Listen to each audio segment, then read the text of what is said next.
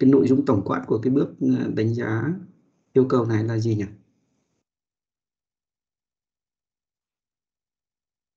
Yêu của cái cái, cái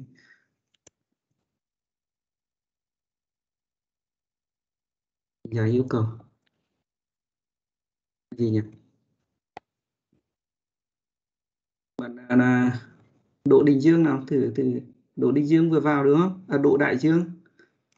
Đỗ Đại Dương thử thử Dạ em đây ạ. Ờ, em nhắc lại cái. Đánh giá yêu cầu là làm cái gì em? Dạ. Đánh giá yêu cầu. gợi ý chút cho em. Hoạt động thứ hai. Quy trình của chúng ta có bốn bước quy trình bốn bước. À, bốn bước bước đầu là gì nhỉ? Hiểu miền và gì Miền và Cầu khám phá.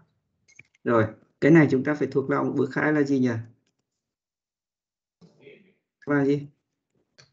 Đánh giá và thống nhất yêu cầu cầu. đúng không? Rồi bước 4 là à, bước 3 là gì? Cầu đúng không? Và bước 5 là gì nhỉ? Định hay là đảm bảo gì? Đảm bảo chất lượng yêu cầu Đấy. đúng không như vậy hôm trước chúng ta đã đã đã hoàn thành assignment 1 về là các cái kỹ thuật mô hình hóa bổ trợ cho cái bước này là ngon lành rồi.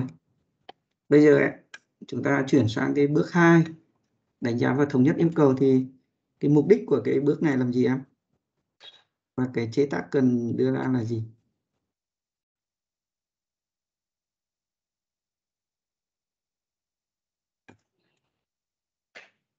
Đại dương đâu rồi? Dạ em đây ạ. cái gì em Em không nhớ phần này lắm ạ. Ồ, đại dương này. Rồi có bạn nào hỗ trợ nhắc lại cho cái?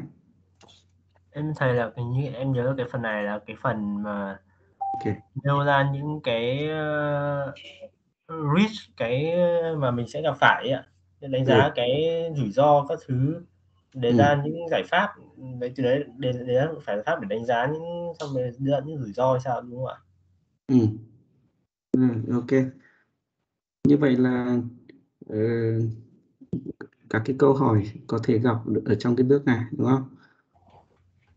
Thì chúng ta thử xem thôi được đây liệt kê bốn bước này rồi chúng ta đi vào.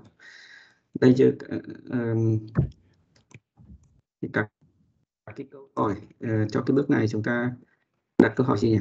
Ví dụ em hỏi về câu hỏi gì cho cái bước hai này? Việt Long nhỉ?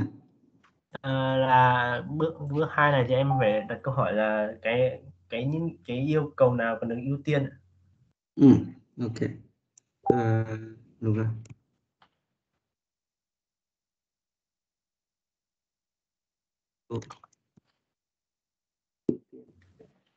ok các yêu cầu đúng không? Tức là yêu cầu nào quan trọng hơn yêu cầu nào. Ừ, đúng nhỉ và cái này gắn độ ưu tiên này chúng ta thấy có ý nghĩa cho các cái hoạt động ví dụ như là lọc tăng dần này.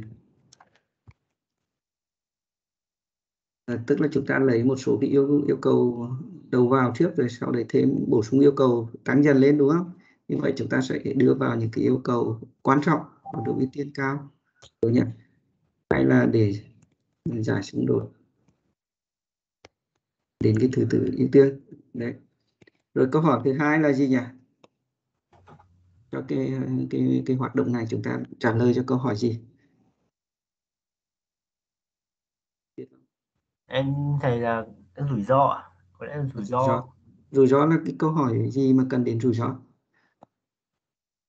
Ờ, là nếu mà cái nghĩa là nếu mà cái đấy quan trọng mà nó không làm được thì nó sẽ gây ra những cái hậu quả gì ạ? Ừ hậu quả gì? Rồi ok. Như vậy chỗ này là chúng ta nói là uh, khi nào thì hướng nào thì dẫn đến là các cái goal đúng không? Là gì? Được à, đáp ứng hay là thỏa mãn. Cái cái phát biểu của mình đấy đúng không? Không đạt được cái mục tiêu đúng không? Và uh, sẽ có những cái hậu quả nào?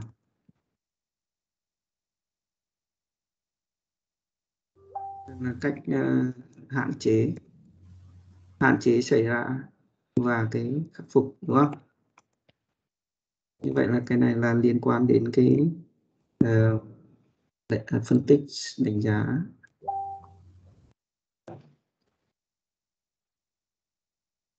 quyết cái cái rủi ro rồi có câu hỏi gì nữa không Long? Dạ không ạ. Rồi cảm ơn em. Rồi một bạn khác bổ sung vào. Có câu hỏi gì nữa không nhỉ?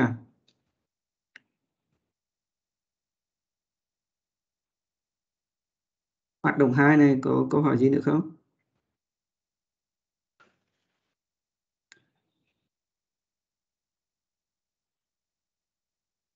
Rồi.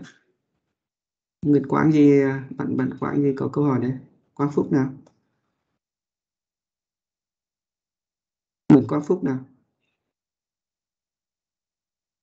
Alo, alo, dạ không ạ. Em uh, bấm nhầm ạ. Ừ. Quang Phúc có câu đồng góp gì à? Minh Hoàng có câu hỏi gì? À rồi, ok, Ngọc Ánh. Ờ, em thưa thầy, ờ, theo em là phần này có thêm một uh, một Ừ. câu hỏi nữa đấy là ờ, mình đánh giá những cái lựa chọn thay thế ừm, Ừ. cho các rủi ro đấy như thế nào? Ok. Như vậy là ok. Um,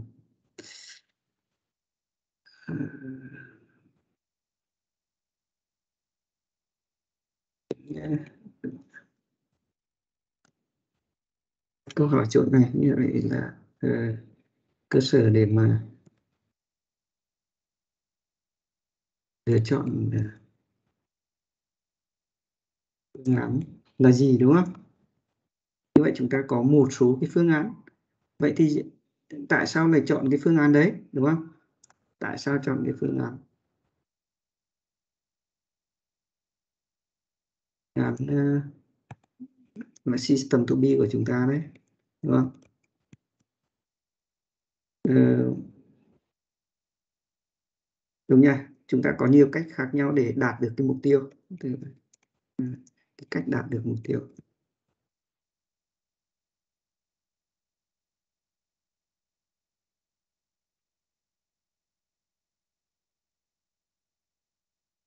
Đạt được cái goal có một số cái cách thức đạt goal và chúng ta đề xuất cái phương phương án cho cái system to be đấy. Thì tại sao lại chọn cái phương án system to be ấy đúng nhỉ? Chúng ta trả lời được. Cảm ơn uh, bạn ánh. Vậy cái chỗ này thầy nốt cho ánh về, về Việt Long nhỉ? Năm sao nhỉ? Đúng không? Ánh đâu? Dạ, Wow. có em ok thank you.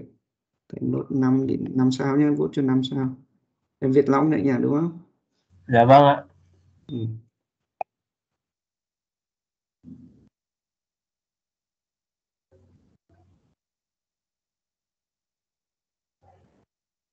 Đại Dương thì tôi ờ, hôm nay thầy không vote sao nhé về nguyên tắc là cho không thuộc bài đấy. Đại Dương nhé rồi. Rồi có- còn câu hỏi gì nữa không? Ờ, còn câu hỏi gì nữa không nhỉ liên quan đến cái tính khả thi của cái phương án.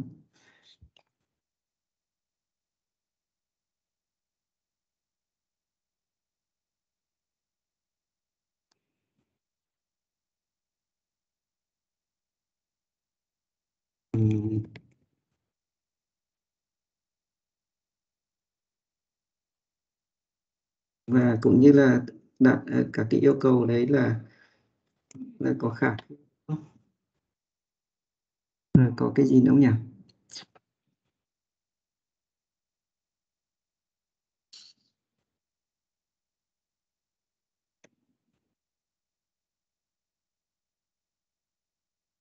Tất nhiên cái khả thi này chúng ta xem xét ở ở trên các cái khía cạnh khác nhau nhé về kỹ thuật về kinh tế về pháp lý đúng không? Tóm lại cần lượng hóa.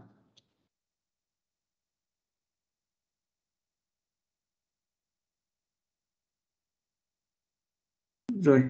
Và bản thân ờ, trong cái ờ, rủi ro này thì chúng ta cũng sẽ phải đối sánh. Ví dụ có các cái biện pháp phòng ngừa, rủi ro thì lựa chọn cái phương án nào cũng là là là cần đối sánh, đúng không? Nhỉ? Đấy thì tóm lại là cái bước ờ, bước bước hai này là liên quan đến cái hoạt động, các cái hoạt động lượng hóa đúng không?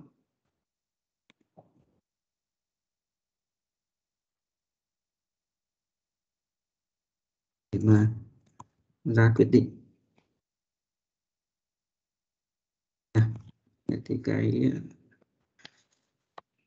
và cũng như là để tạo ra được cái thống nhất. Nhất giữa các gì nhỉ? Các cái bên liên quan. Về cái hệ thống rồi là còn lại là để đảm bảo được cái thống nhất về cái cái ờ, to be. Và tức là đảm bảo được cái là gì nhỉ? Nó là right uh, ờ, system. Là right ờ, uh, problem. Đúng vấn đề và đúng cái hệ hệ thống đó giải quyết đúng cái toán đặt ra. Nha và từ cái này thì chúng ta mới an tâm được là write software, đúng không nha vâng. bây giờ chúng ta đi ờ, đi vào chi tiết của cái hoạt động này. Chúng ta thấy có tổng quan về cái đánh giá yêu cầu rồi, đúng nha bây giờ đi các cái chi tiết kỹ thuật được thực hiện, các cái vấn đề ở trong này.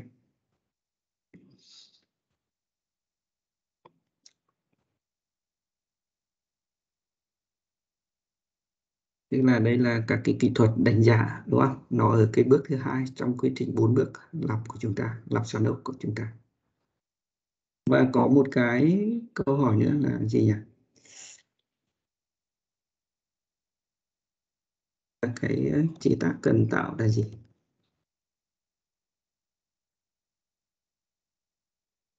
Chế tác cần tạo của cái bước này là gì? Thì chúng ta sẽ đưa ra được cái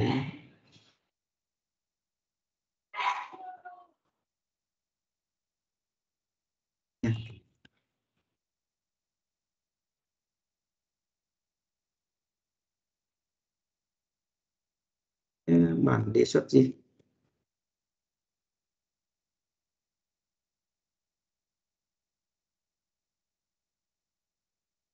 Thành bản đề xuất uh, sơ bộ đúng không?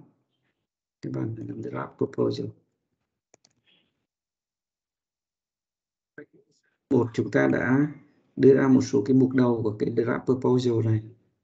Và đến cái hoạt động hai này là chúng ta bổ sung thêm các cái nội dung lượng hóa này nữa đưa ra cái draft proposal yeah.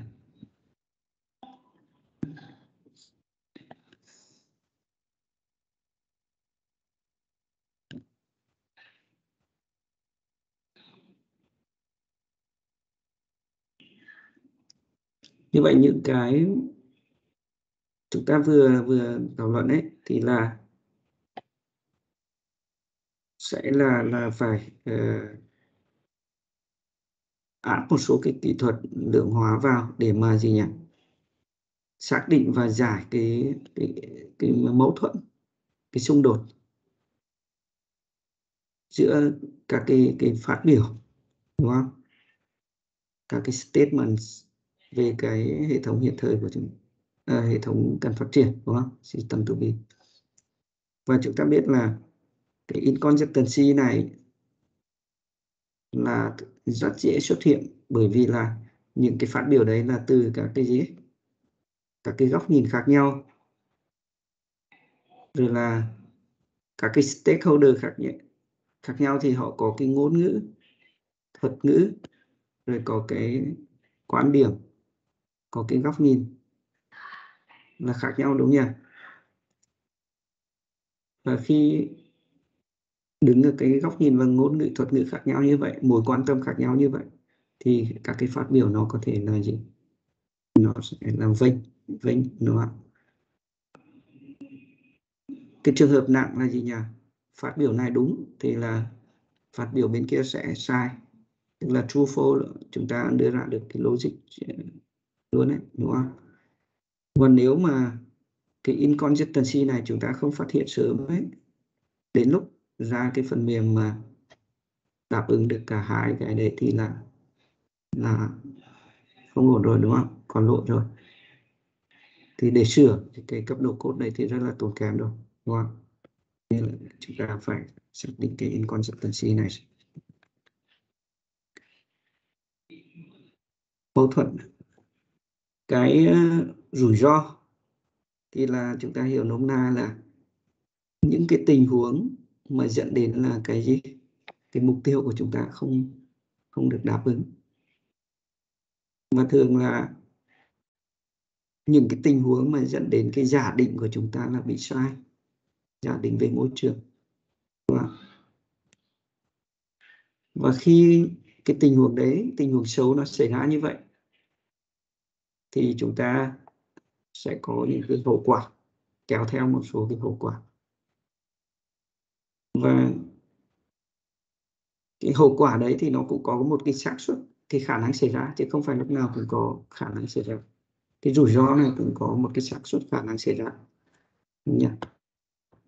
Vậy chúng ta phải đưa thêm những cái yêu cầu, những cái tương ứng với cái biện pháp để mà gì? Để hạn chế cái rủi ro xảy ra. Cũng như nếu nó xảy ra rồi thì là đưa ra cái biện pháp để mà gì? Giảm thiểu cái hậu quả để cản trở không cho cái cái hậu quả này nó phát, nó diễn ra, đúng nhỉ? Thì đây là cái hoạt động phân tích đánh giá ờ, điều kiện kiểm soát cái rủi ro. Cái lượng hóa chỗ này là đối sánh giữa các cái phương án, đúng không? Thì chúng ta thấy có thể là cái cái phân bổ trách nhiệm cho các cái thành phần. Chúng ta tin học hóa, tức là phần nào máy tính làm phần nào người làm ấy thì có nhiều cách tổ chức để đạt được cái mục tiêu. Chúng ta có ví dụ rồi. Vậy thì chọn cái phương án nào? Đó. Rồi tương tự là cái giải quyết rủi ro này cũng có nhiều cái biện pháp phương án phòng ngừa. Về chọn cái nào? Đúng không? Thì ở đây chúng ta phải cân đối giữa cái, cái giá trị của cái biện pháp để mang lại cũng như và cái chi phí bỏ ra đúng không? Cái được và cái mất để mà lựa chọn cái phương án đối sánh phương án. Rồi uh, chúng ta phải gắn được cái độ quan trọng độ ưu tiên cho các cái yêu cầu. Thì ví dụ chúng ta làm phát triển theo cái mô hình là à, uh, lặp tăng dần ấy hay là theo agile ấy, thì là những cái lần lặp đầu tiên. Thì chúng ta tập trung vào cái chức năng lõi, chức năng quan trọng, chức năng có độ rủi ro cao. Thì để mà với mục đích là lấy được cái phản hồi sớm từ khách hàng, đúng không? Thì vậy thì thế nào là chức năng lõi, chức năng quan trọng, có độ ưu tiên cao? Thì như vậy chúng ta phải có cách để mà gắn cái độ ưu tiên cho nó, đúng không? Và nhìn chung là các bạn sẽ thấy là gắn độ ưu tiên này phải dựa vào cái chuyên gia miền, những người trong cái lĩnh vực đấy họ họ cho cái ý kiến để chúng ta có thể lượng hóa, đúng không? Đấy thì là cái nội dung của cái cái bài hôm nay chúng ta tập trung vào bốn cái nhóm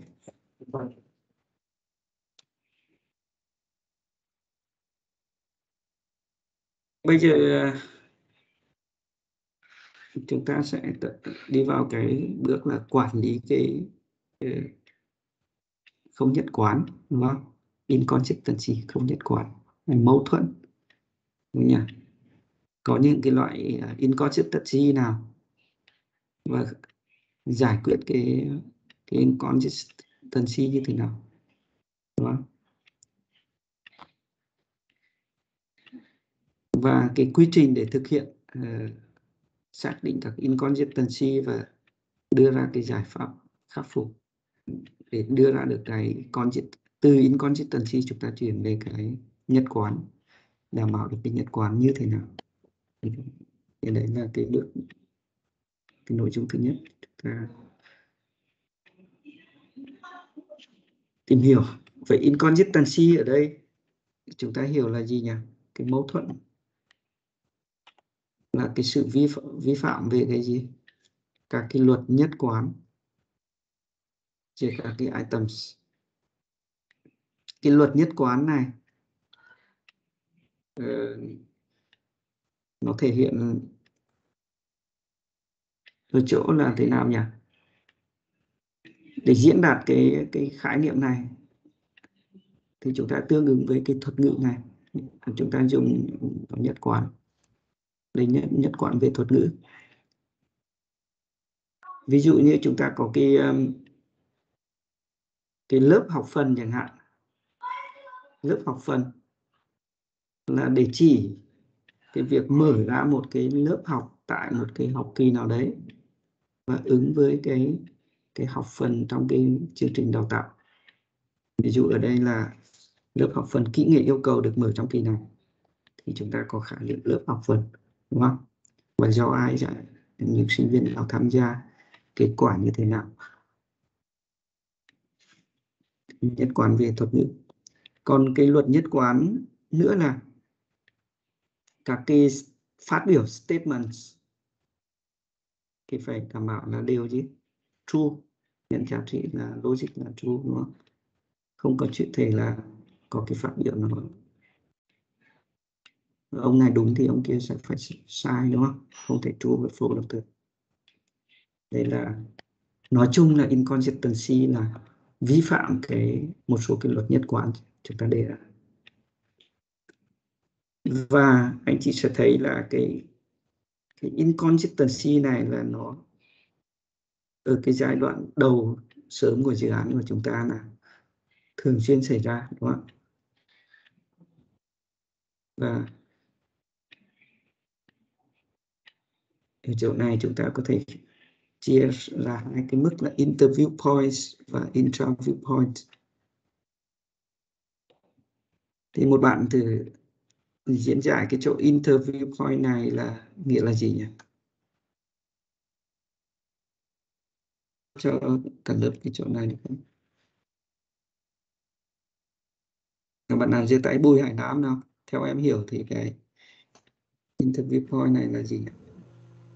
Dạ em thưa thầy là ừ.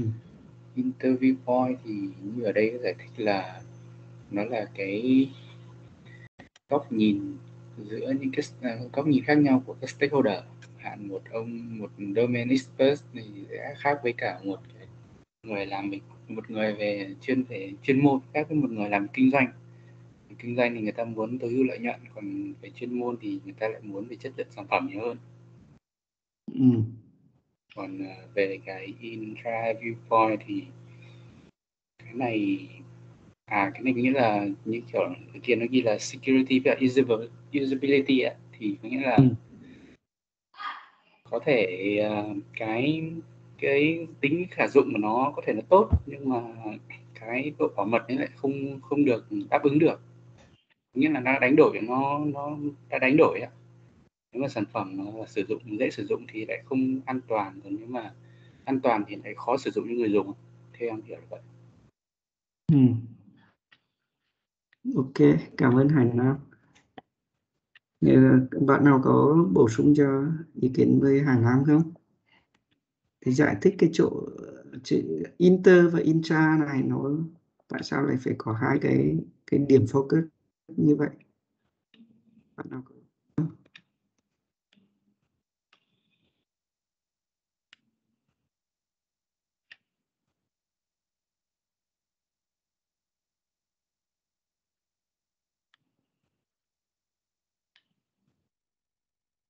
nào các bạn ờ, chủ động lên. Tại sao có inter và intra? Chỗ này nó nó như thế nào nhỉ?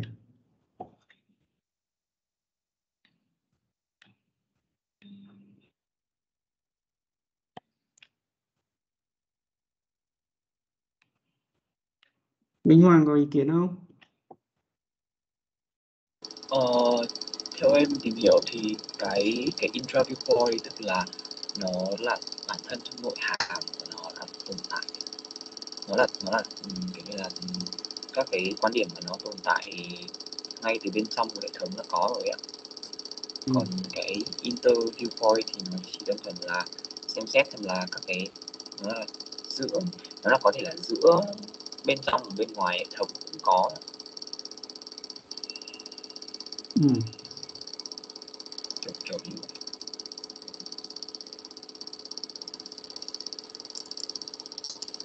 Ok, thank you em. Rồi. Như vậy cái inter này là là xem xét cái tập trung vào các cái khía cạnh khác nhau của của của hệ thống đúng không? Về cấu trúc hành vi và cái chủ thể quan sát ở đấy là được quan sát ở đây là cái system to be đúng nha. Từng cái ờ, tức là có cái gì đấy nó nó là white box ấy. Đúng nhỉ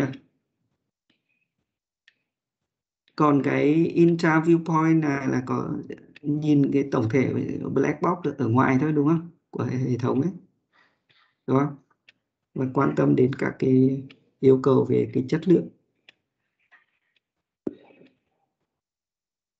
Đúng nha. còn cái cái này thì là nó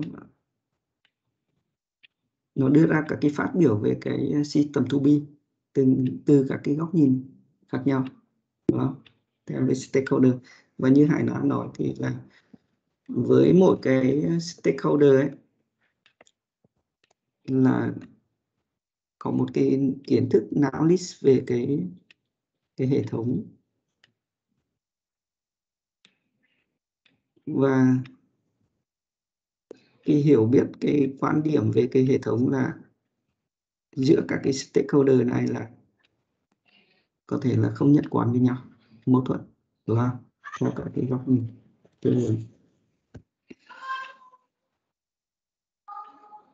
ví dụ ví dụ nhé ví dụ như cái trong ngữ cảnh, người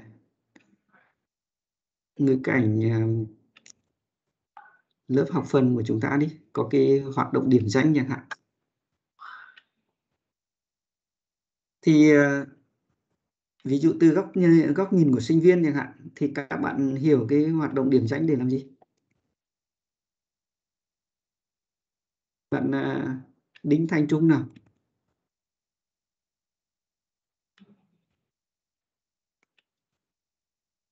Đính Thành Trung không?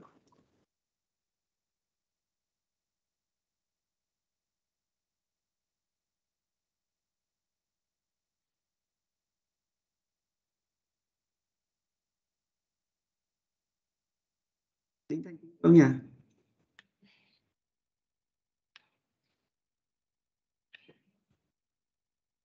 Cái gọi không phản hồi gì là không có mic em chuẩn bị thế cũng được. Đinh Thành Trung nha mình vốt một sáo nhé lẽ ra là không sao ấy. Ok, một bạn à, không có lý do mic nhé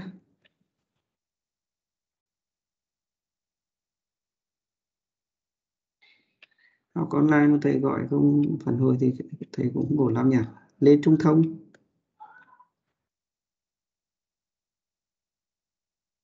Dạ, em đây theo Trung Thông thì cái điểm danh hoạt động điểm danh từ cái view của sinh viên mục đích của cái hoạt động điểm danh làm gì?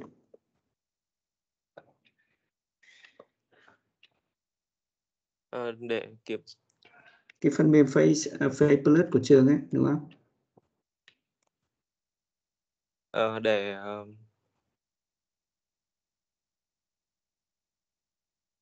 để Plus sinh à? viên để sinh viên trong trường có một cái ứng dụng để đồng bộ được với cái ờ, giáo giáo viên có thể dễ dàng điểm danh sinh viên hơn. ừ. nhưng mà mục đích của cái hoạt động này làm gì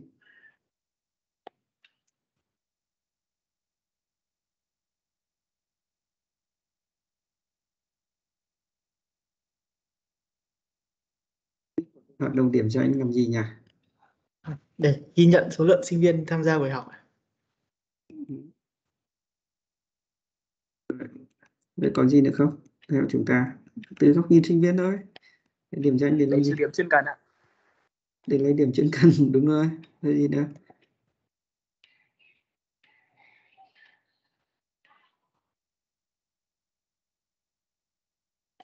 Thấy không? Như vậy chúng ta thấy là mỗi người đã có cái quan điểm khác nhau rồi, cũng là hoạt động điểm tranh nó đang diễn ra đấy.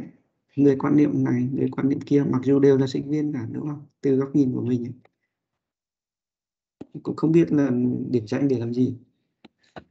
Để, đây ví dụ là lấy điểm chuyên cần này. Đây là để gì? Tạo động, tạo cái sức ép cho cho các bạn đi học. Nhiều bạn không, điểm danh hay không đi học. Đúng không?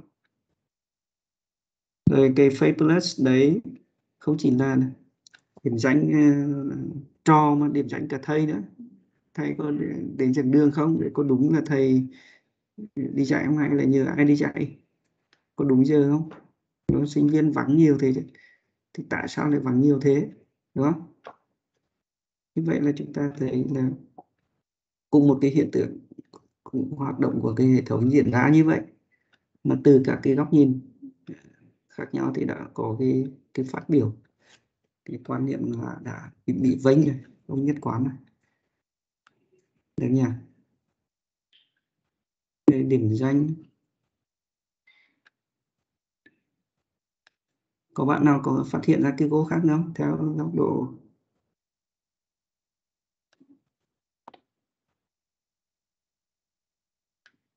và cuối cùng là hướng đến một cái cái cái điểm danh này cuối cùng cũng để là gì? Là một em cái thầy điểm em phát biểu đúng không? Ờ, em phát biểu đi em. Ừ.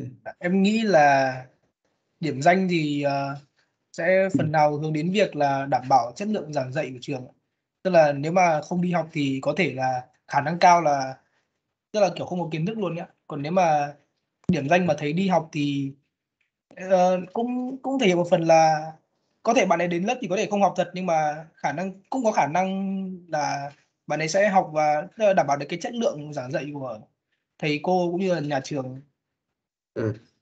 Đúng rồi. Tức là một cái cách để mà đảm bảo ờ, được cái chất lượng dạy học ờ, hoặc là lĩnh hội cái đạt đạt cái chuẩn đầu ra của cái học phần đấy đúng không?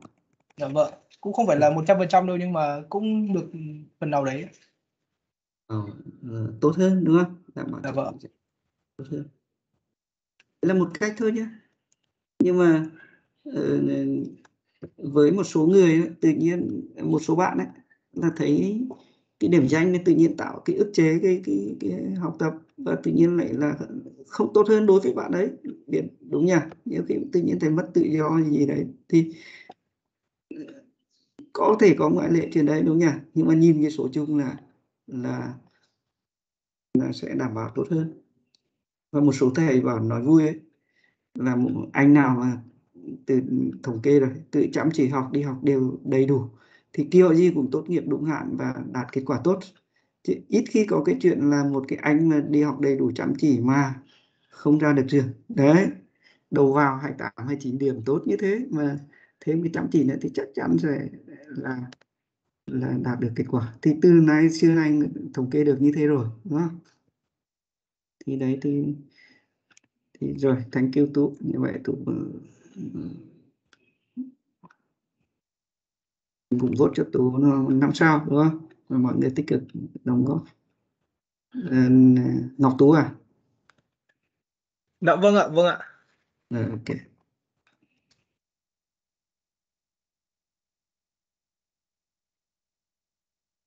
rồi như vậy ờ, qua một cái ví dụ nhỏ đấy thì chúng ta thấy có cái mâu thuẫn giữa các cái bên liên quan rồi đúng không?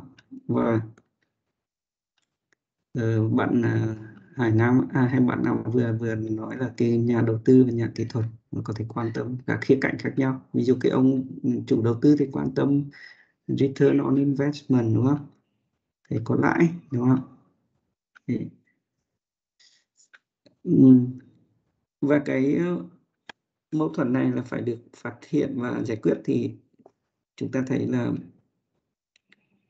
cái chuyện mà phân tích cái inconsistency này thì không nên thực hiện quá sớm, tức là lúc chúng ta chưa đủ thông tin, chưa có cái thống nhất thuật ngữ thì chưa cần phải tiến hành phân tích vội, đúng không?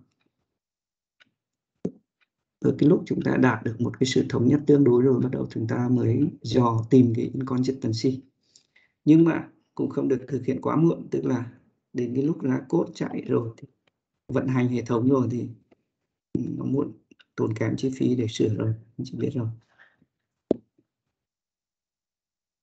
Bây giờ chúng ta đặt câu hỏi là có những cái uh, loại súng nào đúng không ạ?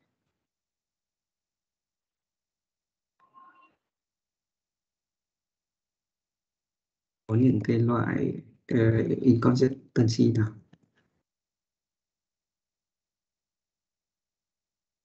Mâu thuẫn hay chị thầy dùng cái chữ mẫu có những loại mâu thuẫn nào đúng không?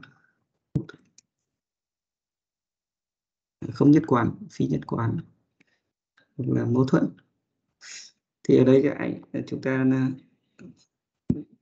đi nhanh một chút. Tức là xung đột về thuật ngữ. Tức là cùng một cái khái niệm đấy mà dùng cho hai gì? Hai từ. Như vậy chúng ta dùng một cái thôi. Borrower thì dùng borrower thôi. Patron dùng patron thôi. Và cái này suy ra một chút nữa là chúng ta đã dùng tiếng Anh thì tiếng Anh hết. Tiếng Việt tiếng Việt hết đúng không? Đừng có lẫn lộn giữa hai cái. Rồi là uh, cùng một cái khái niệm nhưng mà chúng ta lại trong ngữ cảnh này thì hiểu theo nghĩa này trong ngữ cảnh kia hiểu theo nghĩa nghĩa kia nghĩa khác. Vậy là không được đúng không? Phải nhất quán. Ví dụ cùng user. Nhưng mà user là một người dùng của cái hệ thống của thư viện của cái sĩ tầm to be. Còn ở đây là user này lại là của gì? Của software. Đấy, thì nó lại bị mâu thuẫn. Rồi à, mâu thuẫn về cái cấu trúc. Tức là, ví dụ ở chỗ này chúng ta diễn đạt là gì nhỉ? Diễn đạt một cái cái thời điểm, một cái cái mốc phải trả lại cái sách, trả sách khi mượn thư viện ấy.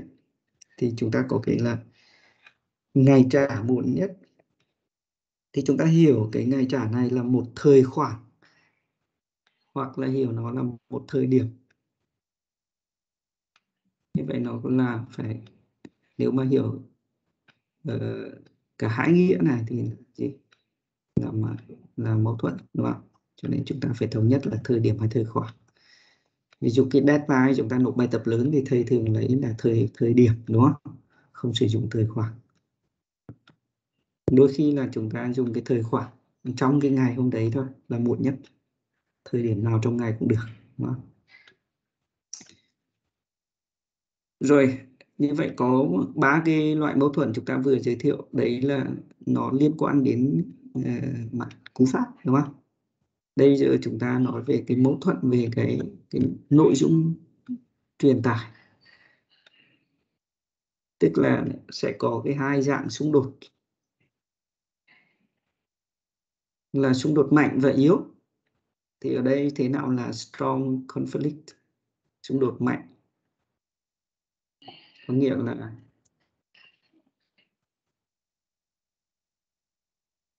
như vậy cái conflict conflict này là cũng là inconsistency xung đột mạnh tức là hai cái phát biểu xung đột mạnh có nghĩa là hai cái phát biểu mà không đồng thời chứ? Nhận giá trị uh, true false nghĩa là ông này true thì ông kia sẽ gì? False đúng không? Ví dụ ở đây chúng ta có cái phát biểu là gì nhỉ? Các cái ràng buộc về ừ, về tham gia cuộc họp ấy của những người tham gia là phải gì? Là không được lộ ra cho người khác. Tức là ví dụ tổ chức một cuộc họp một nhóm của anh anh Cường chẳng hạn, đúng không? Của Mạnh Cường chẳng hạn, đưa ra cái cuộc họp nhóm. Thì các thành viên để đưa ra được cái ngày họp thì thành viên trong nhóm phải gì? Phải cho biết cái gì? Rảnh vào ngày nào, thời gian nào? Nhưng mà cái cái thông tin về cái rảnh ngày nào? Là cái thông tin về cá nhân thì là không được lộ ra cho người khác. Cái yêu cầu là thế. Còn cái phát biểu thứ hai là gì nhỉ? Người điều phối tổ chức cuộc họp ấy, anh Cường ấy, là phải biết được ràng buộc về cái ngày họp mới chọn ra được một cái ngày họp phù hợp, đúng nhỉ? Như vậy hai cái này nó mâu thuẫn nhau. Anh Cường biết được lịch của mọi người hết. Nhưng mà ngược lại, anh Cường phải biết để mà gì? Lập lịch, đúng không? Như vậy hai cái này là xung đột mạnh, đúng không? Thì anh chỉ thấy là khi đưa ra cái statement này bằng ngôn ngữ tự nhiên này, có dễ để mà phát hiện được cái gì? Cái cái xung đột giữa hai cái phát biểu này không? Không dễ đúng nhỉ ở cái diễn đạt bằng ngôn ngữ tự nhiên. Này. xung đột yếu thì nó cũng là conflict. Nhưng mà cái yếu nó thể hiện ở chỗ là gì? Trong một cái điều kiện đặc biệt nào đấy thôi thì nó mới trở thành là, là mâu thuẫn. Như vậy cái điều kiện đặc biệt đấy chúng ta gọi là điều kiện biên ví dụ ở đây là chúng ta có cái xung đột um, bình thường không sao nhưng mà trong điều kiện đặc biệt thì trở nên là mâu thuẫn. Ví dụ người mượn là cần phải trả sách trong vòng ít tuần.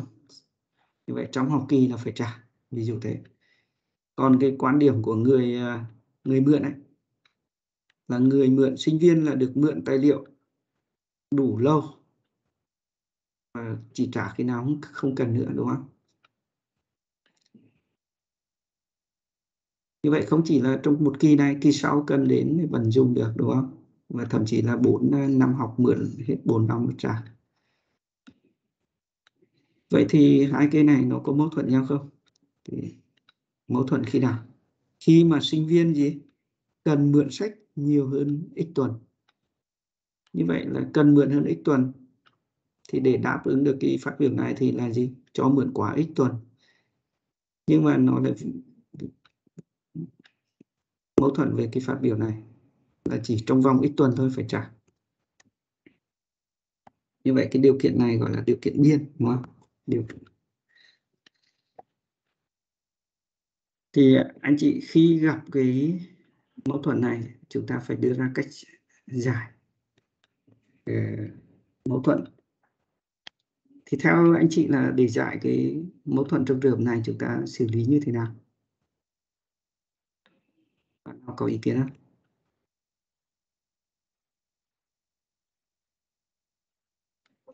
Trần Đức Hoàng Hùng đã. Trần Đức Hoàng Hùng có đấy không?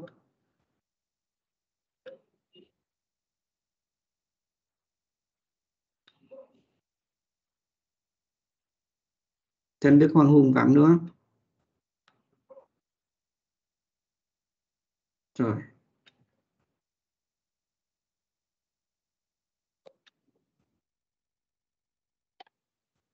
Xong rồi chạy đi chơi.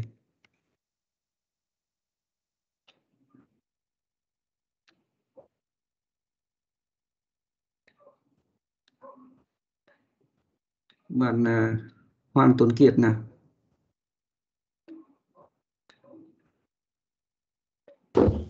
Dạ em thầy ừ. theo Kiệt thì thế nào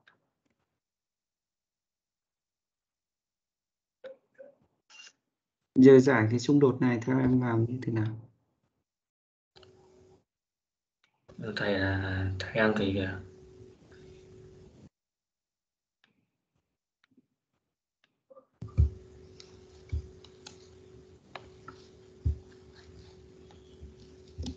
Rồi ok.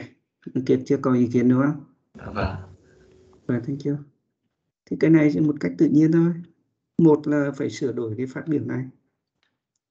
Vậy phát biểu nào quan trọng hơn thì chúng ta ưu tiên là giữ, còn ít quan trọng thì sửa đi. Đúng nhỉ? Chắc chắn phải sửa. Còn nếu mà cứ khăng khăng không sửa, thì phải gì? Phải ngăn cho cái điều kiện biên này không xảy ra. Đúng không? Đừng có cho điều kiện biên xảy ra. Đúng nhỉ? thì đây là một số cái cách mà chúng ta sẽ áp dụng để giải cái xung đột này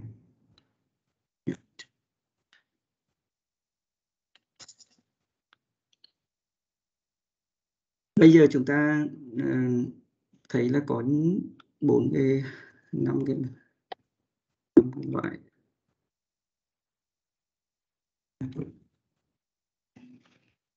Thì uh, điều khiển uh, giải quyết cái inconsistency đấy như thế nào?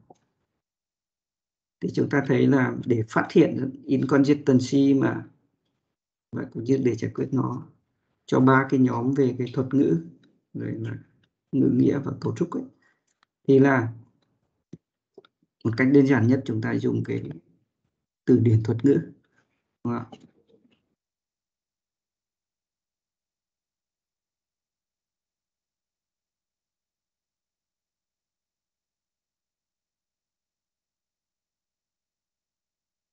như vậy anh chị thống nhất cái ờ, từ vựng này thống nhất về cái nghĩa của các từ hiện đạt như vậy là giải quyết được cái cái xung đột, tránh được cái xung đột này. Nhưng mà cái xung đột mạnh và yếu này nó sẽ khó hơn, đúng không? Vì nó phải phân tích ngữ nghĩa rồi của các cái phát biểu. Và để giải quyết cái xung đột đấy thì chúng ta thường phải lần vết về cái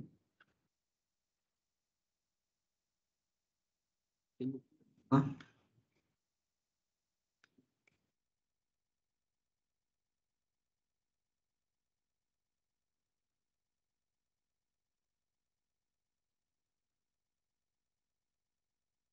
Là về mặt cú pháp ấy, thì cái chỗ này anh chỉ thấy là dùng cái từ điển thuật ngữ.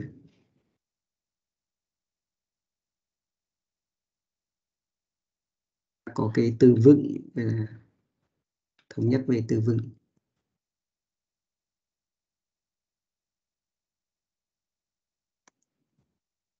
Để diễn đạt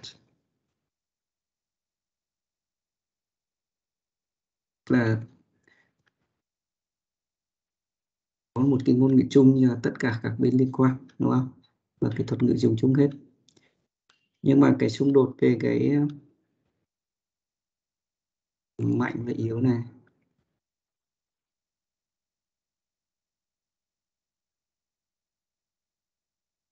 À, sẽ khó hơn đúng không? Và thường phải xuất phát từ cái gì nhỉ?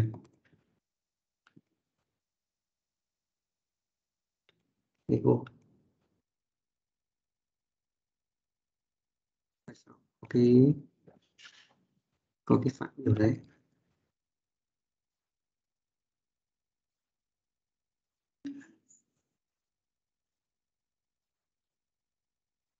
Nha. Như vậy để chúng ta điều chỉnh cái phát biểu, thì như vậy là phải phân tích lại cái goal đấy. Phát biểu đấy là để đạt, giúp đạt được cái mục tiêu gì, đúng không?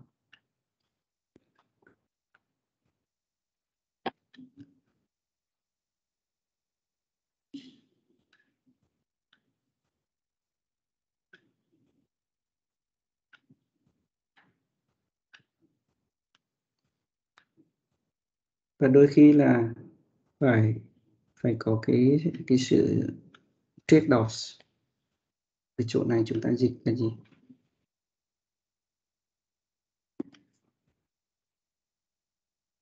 Cái sự trade offs à, ừ, cân nhắc à, giữa được cái này mất cái kia đúng không? Vậy là ví dụ như là một cái phát biểu mà nó là liên quan về cái performance, mong muốn về performance. Nhưng mà một cái phát biểu khác lại là về gì? An ninh. Ví dụ như chúng ta để performance ờ, tiện lợi chẳng hạn thì hay usability chẳng hạn, đúng không? Tiện lợi. Thì vào là chúng ta có cái tính năng là cho phép lưu mật khẩu, lần sau không cần phải lập ờ, nhập mật khẩu vào nữa. Lưu mật khẩu tự động. Nhập tự động thì rất là tiện lợi, nhưng mà nó lại gì? Vi phạm cái safety, đúng không? Như vậy phải có cái trade đọc giữa hai cái cái phát biểu đấy.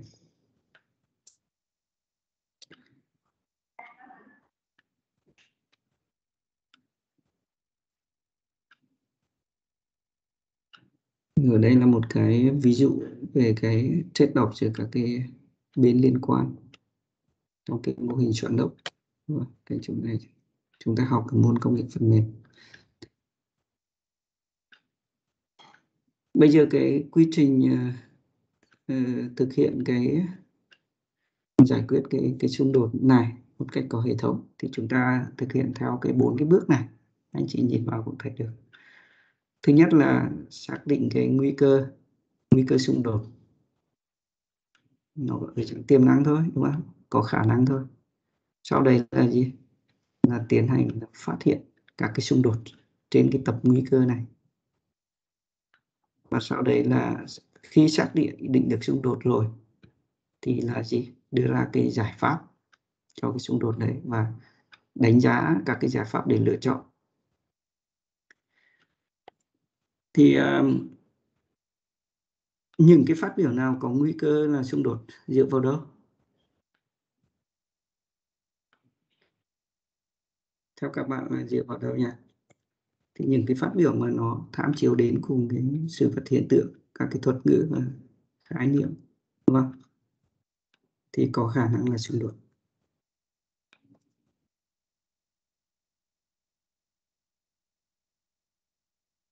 Lý cái cái xung đột. Là theo bốn bước.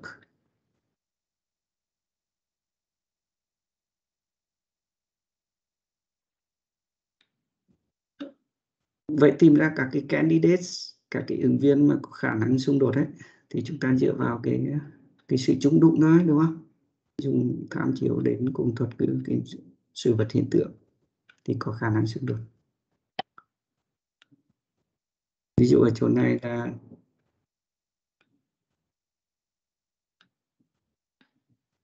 cái hoạt động là gì? Thu thập cái ra một cuộc họp.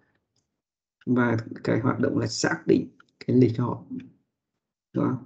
Như vậy đều phải chung đụng đến cái khái niệm ra một cuộc họp này. Như vậy là nó những cái cái cái những cái yêu cầu những cái statement mà liên quan đến cái hoạt động uh, thu thập ràng buộc và xác định của họp này là đều có khả năng là xung đột. Còn cái phát hiện xung đột thì như thế nào? Thì chúng ta sẽ diễn người làm hay là máy làm thôi. Xác định một cách uh, informally tức là sẽ tổ phân cho các người phản biện, reviewers, đọc và tự phát hiện ra được cái xung đột. Cách thứ hai là dựa vào cái kinh nghiệm. Những cái nhóm phát biểu mà cung cấp thông tin đấy thì thường có xu hướng xung đột với cái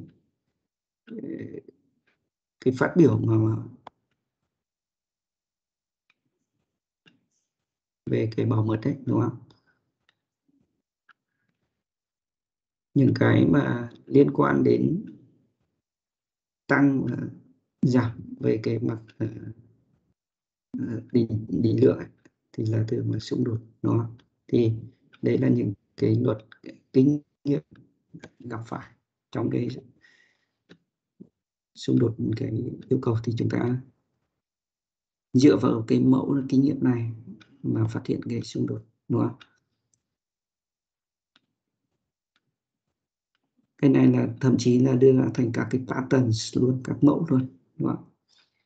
Và một cái kỹ thuật thứ tư là chúng ta dùng cái,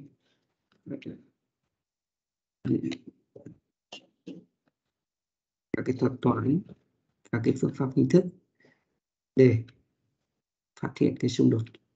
Tức là chúng ta chuyển các cái statements về dạng diễn đạt hình thức. Và chúng ta hiểu có thể hiểu là diễn đạt theo ẩn đằng sau đây là cái toán học diễn đạt bằng ngôn ngữ toán. Và dựa vào cái các cái phép uh,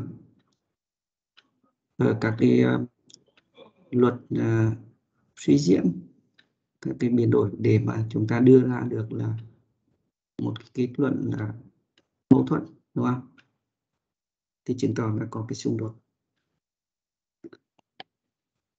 Thì đấy là có thể làm được tự động, đúng không? Đây là nội dung của cái bước 2 còn bước 3 thì theo các chúng ta giải quyết cái bước 3 như thế nào? Trước khi sang bước 3 thì chúng ta có cái vấn đề là làm tài liệu xung đột, đúng không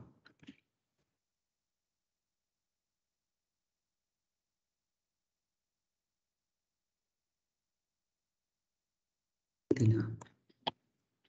Thì ờ, ở đây là một cách gợi ý cho chúng ta làm tài liệu để phát, một khi chúng ta đã phát hiện cái xung đột giữa các cái phát biểu rồi, thì chúng ta làm tài liệu nó như thế nào? Thì mỗi cái phát biểu chúng ta định danh gắn cho nó một cái định danh, đúng không? Ở đây chúng ta có bốn cái phát biểu. Và lập một cái mã trận tương quan giữa các cái phát biểu này. Nếu không có cái trung độ trung đụng gì cả, thì chúng ta cho nó nhận giá trị là không.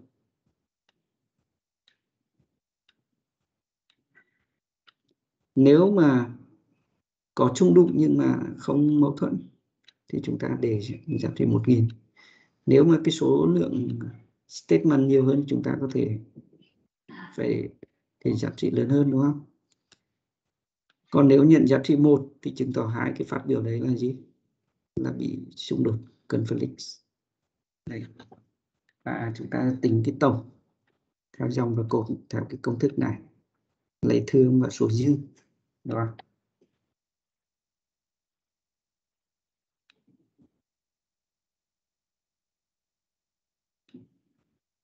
Trường hợp mà chúng ta nhiều cái nhiều cái phát yêu cầu hơn thì chúng ta thêm vào 10.000 hay 100.000 gì đấy, đúng không? Dựa vào cái số lượng, cái statement. Thì đây là một cách để mà làm tài liệu yêu cầu. Thì anh chị nhìn vào đây thấy S1 nó nhận giá trị là 1002. Như vậy là cái độ conflict của F1 là trong trường này là bằng bao nhiêu? Bằng 2. Vâng. Và, và nặng conflict. Vậy có hai cái xung đột với nó. Còn conflict thì là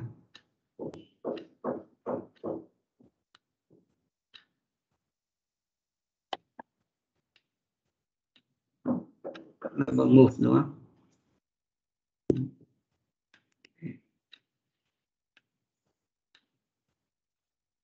Vậy chúng ta thấy S1 là có cái, cái, ờ, cái số phát biểu uh, mâu thuẫn với nó uh, trong trường này là hai đúng không chúng ta lấy thường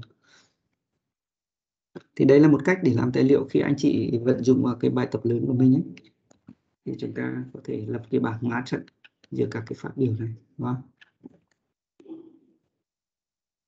bây giờ sang cái bước thứ ba là một khi đã xác định xung đột thì giải cái xung đột như thế nào thì anh chị sẽ, chúng ta tìm ra các cái cách giải quyết xung đột. Thì vậy thì các cái phương án giải xung đột lấy ở đâu? Thì sẽ tiến hành qua cái kỹ thuật chúng ta đã dùng trong cái khâu khám phá yêu cầu ấy. Là chúng ta có thể tiến hành phỏng vấn hay họp nhóm. Tóm lại là hỏi các cái bên liên quan, đặc biệt chuyên gia miền đúng không?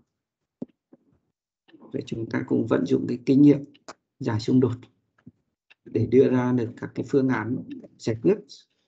Sau đấy là gì? Đối sánh và lựa chọn cái phương án tốt hơn. Còn cái kỹ thuật đối sánh và so sánh các phương án thì chúng ta lại dùng cái kỹ thuật sẽ được đề cập. Chúng ta sẽ được giới thiệu sau, đúng không?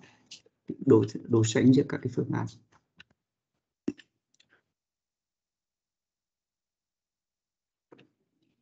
Đây, ở đây là một số cái ờ, cái kinh nghiệm giải xung đột. Như hồi nãy chúng ta cũng đã đề cập. Tôi có hỏi một các bạn ấy. Ví dụ ở đây là giải cái xung đột giữa hai cái phát biểu. Mượn sách. Tối đa trong vòng ít tuần. Còn mượn sách cho đến khi nào cần, tức là không cần nữa thì trả. Hai cái đấy là mâu thuẫn. Vậy để giải cái xung đột đấy thì chúng ta sẽ tránh cái điều kiện biên bằng cách đưa vào là gì? Giữ cái bản copy mà có khả năng được mượn lâu dài ấy, là copy nhiều vào giữ cái bản bật sao nhiều vào để luôn sẵn sàng cho mượn đúng không? Như vậy cái điều kiện biến sẽ không bao giờ xảy ra đúng không?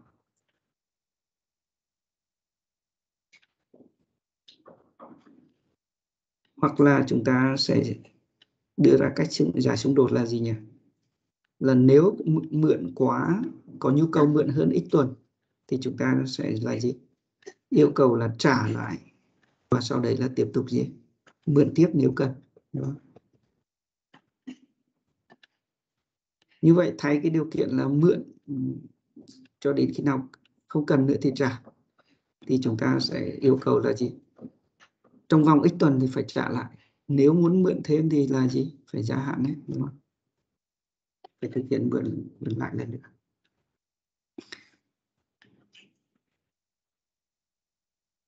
Ờ, hoặc là chúng ta làm yếu nó đi. Thay đổi phát biểu là mượn tối đa trong vòng ít tuần. Phải trả. Nhưng ở đây chúng ta thêm một cái ngoại lệ là trừ trường hợp ngoại lệ tức là ai đó muốn mượn à, hơn ít tuần thì là phải thông báo để được đưa vào ngoại lệ. Wow. còn một cái mẹo này là một cái mẫu này là xung đột là gì? Yêu cầu phát biểu mà có độ ưu tiên cao thì chúng ta bỏ nó đi. À, giữ lại. Và yêu cái ông có độ ưu tiên thấp hơn chúng ta bỏ đi. Đúng không?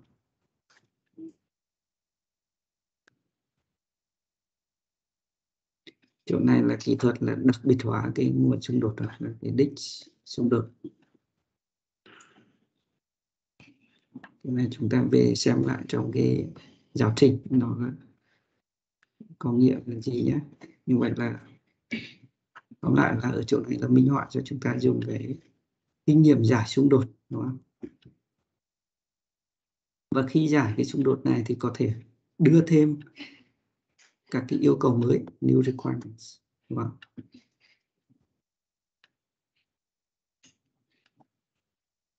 và bước này là cái lượng hóa để mà lựa chọn cái phương án giải xung đột. Tốt hơn khi chúng ta có một số cái phương án giải xung đột. Rồi anh chị về xem cái ví dụ thang máy này. Ví dụ là có hai phát biểu là bấm tầng nào thì cabin sẽ di chuyển đến tầng mong muốn. Nhưng mà ở đây có một cái phát biểu khác là trong trường hợp hỏa hoạn thì là từ chối phục vụ dịch vụ. Như vậy hai cái phát biểu này nếu điều kiện là khẩn cấp xảy ra thì là mâu thuẫn nhau. Đây là gọi là xung đột yếu. Thì ta về xem ví dụ đấy, được nhỉ bây giờ cái vấn đề quản lý xung đột rồi, thì chúng ta chuyển sang cái vấn đề là phân tích, đánh giá và cái rủi ro, quản lý cái rủi ro. Như vậy cái nội dung thứ hai là cái quản lý rủi ro.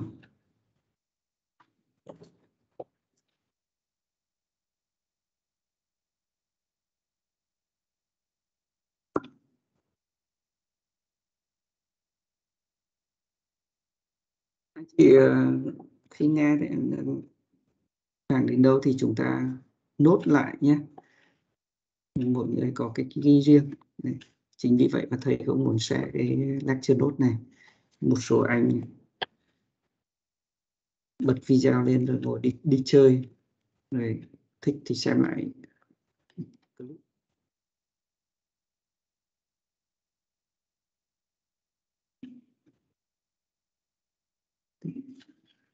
Thì ở chỗ này chúng ta xem là có những cái loại rủi ro nào, quản lý rủi ro, làm tài liệu rủi ro và một cái phương án, một cái kỹ thuật lượng hóa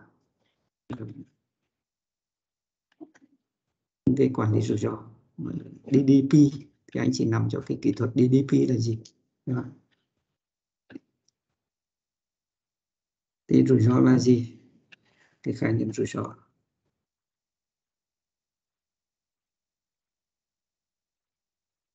Hiểu là một cái nhân tố không chắc chắn, uncertain, và khi nó xảy ra có thể ảnh hưởng đến cái việc đạt được cái mục tiêu, thỏa mãn cái mục tiêu và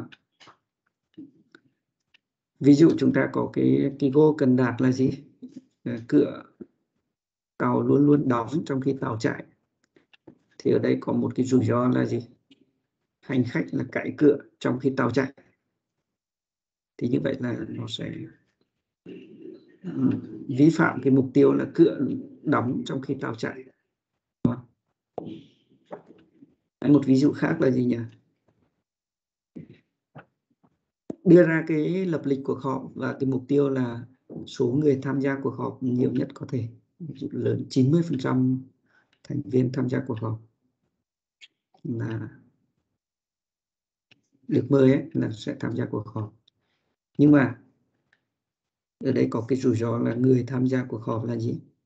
Không kiểm tra email thường xuyên, mà chúng ta đưa ra lời mời và nhận cái ràng buộc cuộc họp là thông qua trao đổi mail. Thì cái này là sẽ có rủi ro, đúng không? Đến lúc họp xong rồi thì mới check mail. Vậy là một cái gì đấy nó không chắc chắn, nó có khả năng xảy ra, đúng không?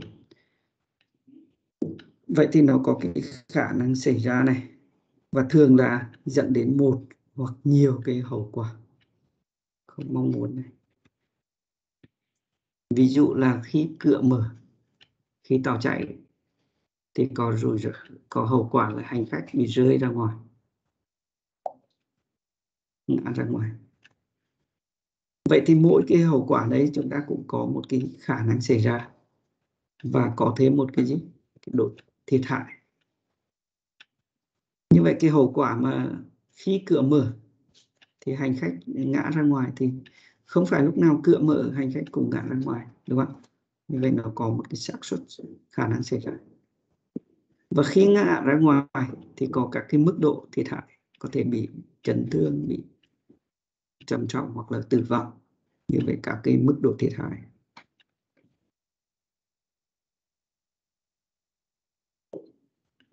thì à, anh chị có thể phân nhóm cái rủi ro là liên quan đến sản phẩm. Là về mặt à, tức là những cái mục tiêu cái goal về mặt chức năng hay phi chức năng của hệ thống. Còn cái goal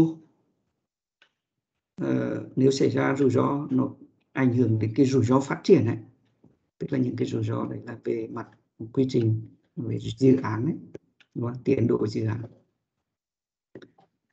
thì anh chị thấy có hai cái nhóm rủi ro này. Tức là mục tiêu gắn với cái chức năng hay là phi chức năng của hệ thống. Cản trở, đạt được cái mục tiêu đấy. Thì đây là rủi ro về mặt sản phẩm. Còn cái mục tiêu về dự án, về quá trình phát triển, ví dụ trong vòng, phải trong vòng một tháng phải ra sản phẩm. Quá kinh phí kinh phí là trong vòng bao nhiêu tiền đấy. Nhưng mà không đạt được cái mục tiêu đấy thì những cái rủi ro ngăn cản đạt mục tiêu đấy gọi là liên quan đến quy trình.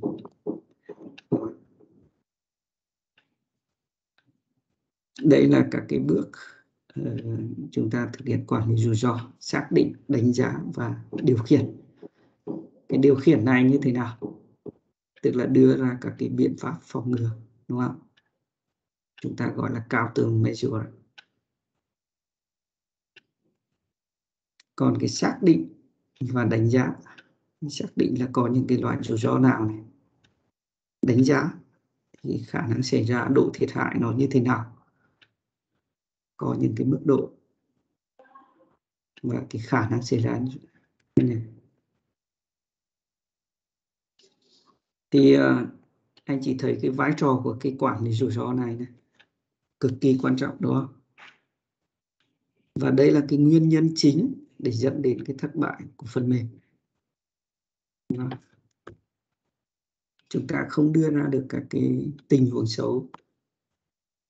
Không có biện pháp phòng ngừa. Thì hệ thống sẽ không đạt được cái mục tiêu đề ra. Đó.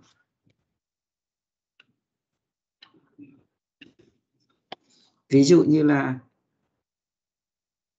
chúng ta có cái tổ chức uh, thi trắc nghiệm.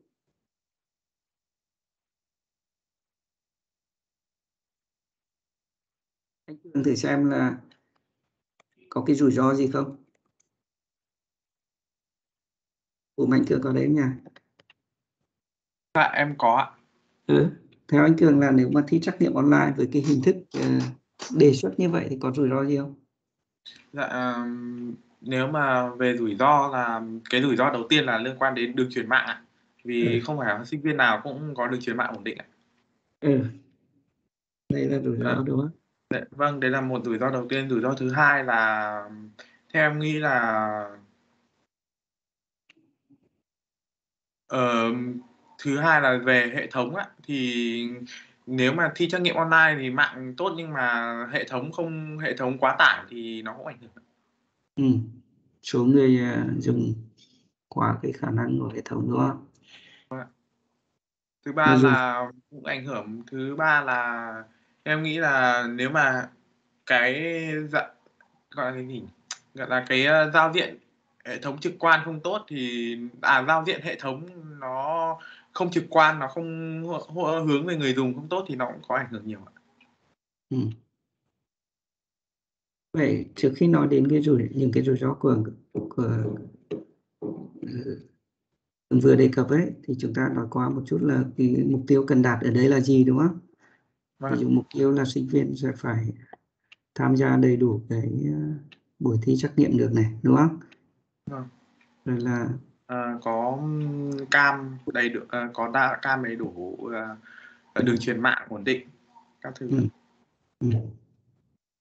tức là ví dụ mục tiêu là sinh viên đấy là tham gia à, trả lời đầy đủ các cái câu hỏi đúng nhỉ? Nhưng mà có cái rủi ro là gì?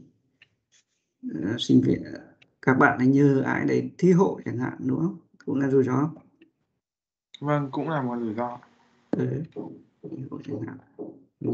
như vậy thì nó sẽ muốn vi phạm cái việc cái mục tiêu chúng ta cần đạt là sinh viên. Chính sinh viên đấy tham gia vào cái cuộc thi đúng không nhỉ ok. Rồi, cảm ơn cường. Vậy anh chỉ thấy là chúng ta liệt kê một loạt cái mục tiêu cần đạt và những cái yếu tố những cái tình huống xấu. Nếu nó xảy ra thì chúng cản trở chúng ta đạt cái mục tiêu nha. cho nên là rất quan trọng trong thực tế nó hỗn độn như vậy mà chúng ta lường hết được các cái tình huống xấu để mà hướng đến đạt được cái mục tiêu ấy. Thì rất là cần thiết, nếu không sẽ là thất bại, hệ thống thất bại nha. Vâng, thank you vậy thì xác định rủi ro như thế nào như vậy chúng ta vừa gặp một cái tình huống tại sao anh cường, anh đưa ra được một loạt các cái rủi ro như vậy tại sao bởi vì là sao nhỉ?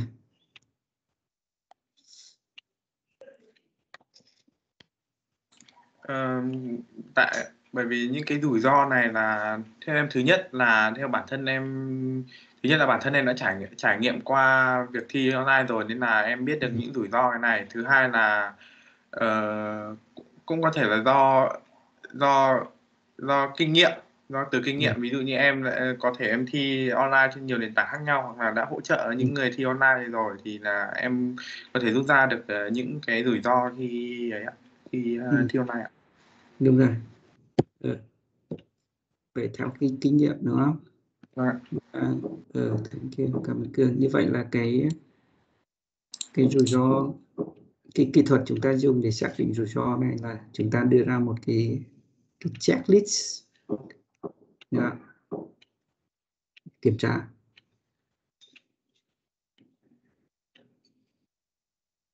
và chúng ta phân ra hai nhóm liên quan đến sản phẩm và liên quan đến quy trình đúng không? và chúng ta thường đặt cái câu hỏi là nếu thông tin không chính xác thì sao đúng không? nếu nó không ở trạng thái available thì sao nếu không dùng được thì sao đúng không? phản hồi kém và lưu lượng quá tải thì sao đúng không?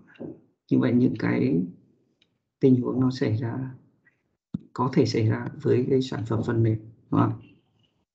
hay là với cái quy trình phát triển theo cái tài liệu quản lý dự án cái ông này là tác giả của cái mô hình à, xoắn ốc này anh chị vẫn là một trong những người đầu tiên đặt mình nền móng cho cái quản lý dự án phần mềm.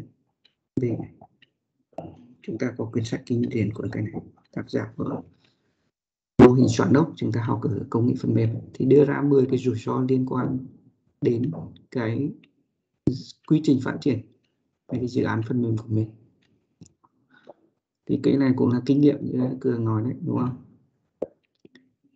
Ví dụ như là rủi ro về thay đổi yêu cầu, rủi ro về thiếu hụt nhân lực, rủi ro về phụ thuộc cái nguồn cung cấp ở ngoài, hoạt động thuế mướn ấy, rủi ro về ước lượng sai chi phí và lịch trình, đúng không? Hay rủi ro về cái quản lý. Những cái này là do, phát sinh rủi ro này là do cái quản lý yêu cầu kém, đúng không?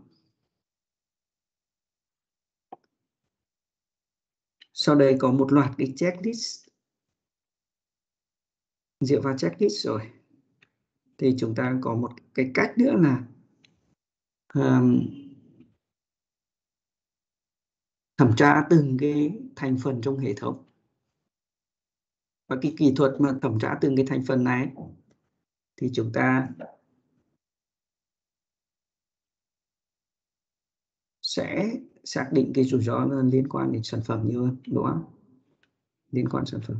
Cái nhóm rủi ro liên quan sản phẩm. Ví dụ thi trắc nghiệm.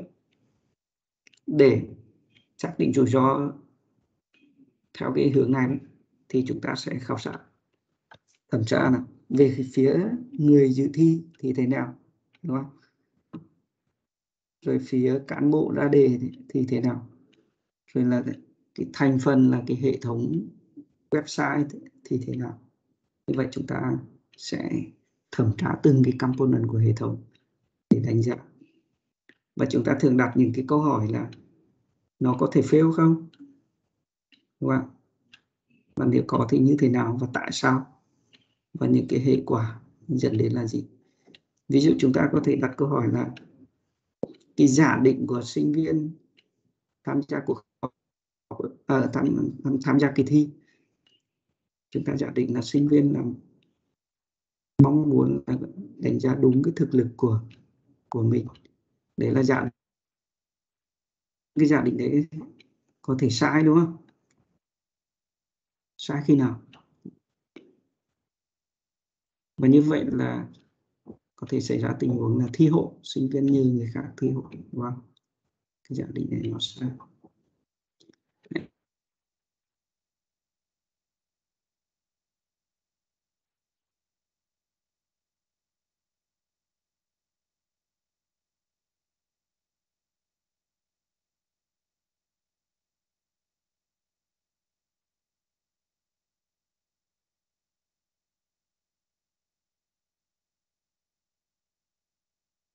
Chúng ta đặt câu hỏi theo từng cái thành phần trong hệ thống đúng không? Và phân tích uh, mịn dần đúng không? Một component chúng ta có thể phân tích theo cái thành phần nhỏ hơn là phân dạng đúng không? thì nó chính xác hơn.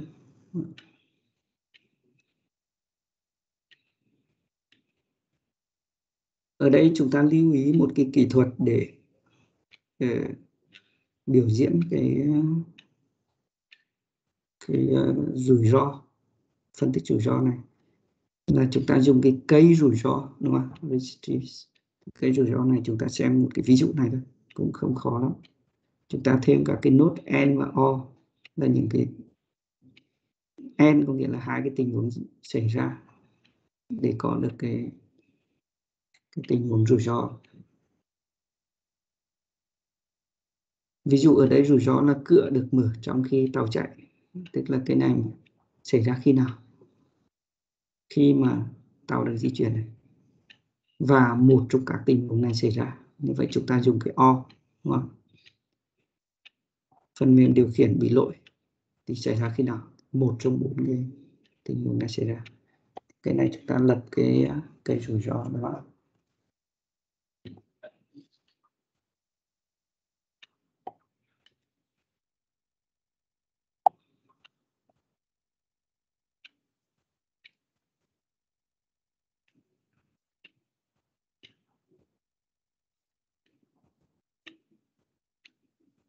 vậy cái nốt gọi là nốt thất bại, và thất bại nó xảy ra khi nào, đúng không?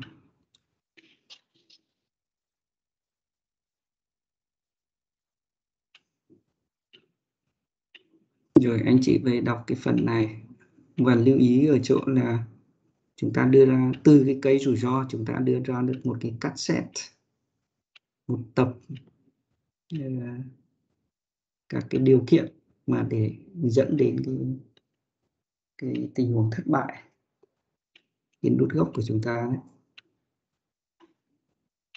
thì à, để tìm cái cắt xếp này chúng ta ví dụ có cái cây này đây là cái tình huống thất bại này xảy ra khi nào và từ cái cây này chúng ta suy ra được một tập các cái tình huống nếu nó xảy ra đồng thời ấy, thì sẽ dẫn đến cái cái tình huống thất bại của chúng ta. Nha. Vậy cái tập này chúng ta gọi là cắt xét và được thu từ cái cái rủi ro, đúng không? Thì anh chị lưu ý cái này để chúng ta làm bài tập. Khi có một cái cây rủi ro như vậy, làm thế nào xác định được các cái tình huống để dẫn đến cái rủi ro? Rồi một cái kỹ thuật nữa để xác định rủi ro là anh chị dùng cái kỹ thuật là các cái kỹ thuật khám phá yêu cầu. Ví dụ dựa vào kịch bản thì anh chị à,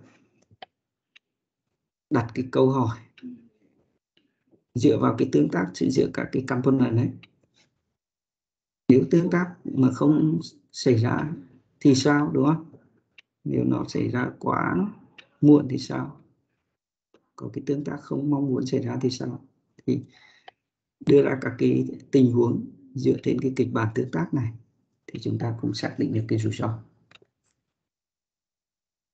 Ví dụ như sinh viên đang làm trắc nghiệm mà để hệ thống đường truyền bị lỗi thì sao, đúng không? Vậy cái tương tác. Những cái tình huống phát sinh không mong đợi xảy ra. Chỗ này là sử dụng lại trí thức hay hộp nhỏ những cái kỹ thuật của thu thập mà khám phá yêu cầu chúng ta có thể đưa vào đây. Cái bước đánh giá rủi ro thì anh chị học ừ, ở đây cái kỹ thuật à, định tính chỗ này định lượng. Định lượng thì anh chị đưa vào đánh giá như thế nào? Ví dụ, ở đây chúng ta có cái rủi ro là cửa mở trong khi tàu chạy. Vậy thì chúng ta đưa ra các cái khả năng xảy ra. Likely có thể xảy, rất rất có thể xảy ra, đúng không? Possible là có thể xảy ra. Là hiếm, ít khi xảy ra ít có khả năng xảy ra. Chúng ta phân ra ba mức đúng không? Và cái rủi ro này nó sẽ ứng nếu xảy ra sẽ dẫn đến năm cái hậu quả. À, mỗi cái hậu quả này ứng với các cái khả năng xảy ra này sẽ có cái mức độ thiệt hại tương ứng đúng không? và như vậy là dựa vào cái bảng này thì chúng ta sẽ có cái thông tin chi tiết hơn về cái rủi ro này. Vâng đúng không? thì cái ờ, đánh giá rủi ro một cách định tính cho cái ờ, rủi ro chỗ này. Chúng ta dùng cái ờ, cái bảng và phân ra các cái mức rủi ro khả năng xảy ra. Mức cái độ thiệt hại, đúng không kỹ thuật này dễ dùng, nhưng mà nó mang tính chủ quan và vẫn là thô, đúng không? Và cái còn một cái điểm nữa là cái khả năng xảy ra rủi ro của hậu quả là không được xem xét. Ví dụ, cái khả năng xảy ra đến tính mạng con người này thì khả năng xảy ra là bao nhiêu, lúc nào xảy ra, đúng không? Là chưa được đề cập.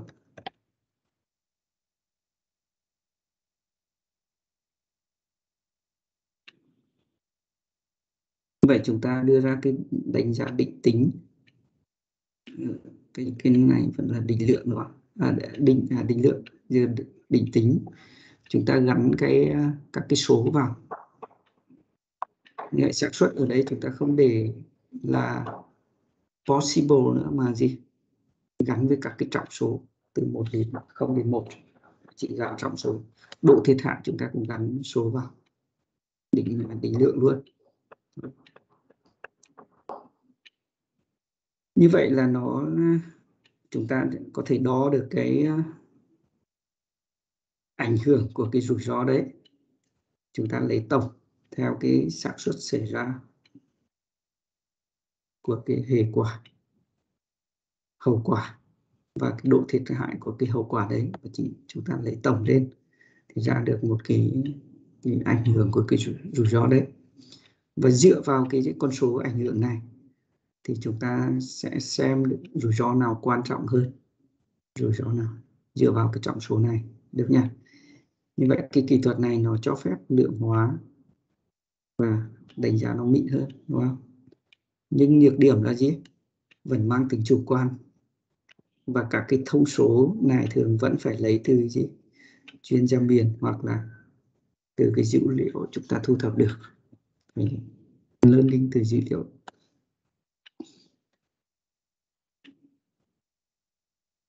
một khi đánh giá đối sánh rủi ro rồi thì chúng ta ừ, control nó như thế nào? Hiểu về rủi ro, có thông thông số về rủi ro rồi. Vậy thì phòng ngừa nó như thế nào? Tiêm vaccine như thế nào, đúng không? Thì đấy, các cái biện pháp phòng ngừa. Thì chúng ta cũng họp nhóm ừ, phỏng vấn, hỏi chuyên gia miền, lấy kiến thức trong miền đấy phòng ngừa cái rủi ro như thế nào?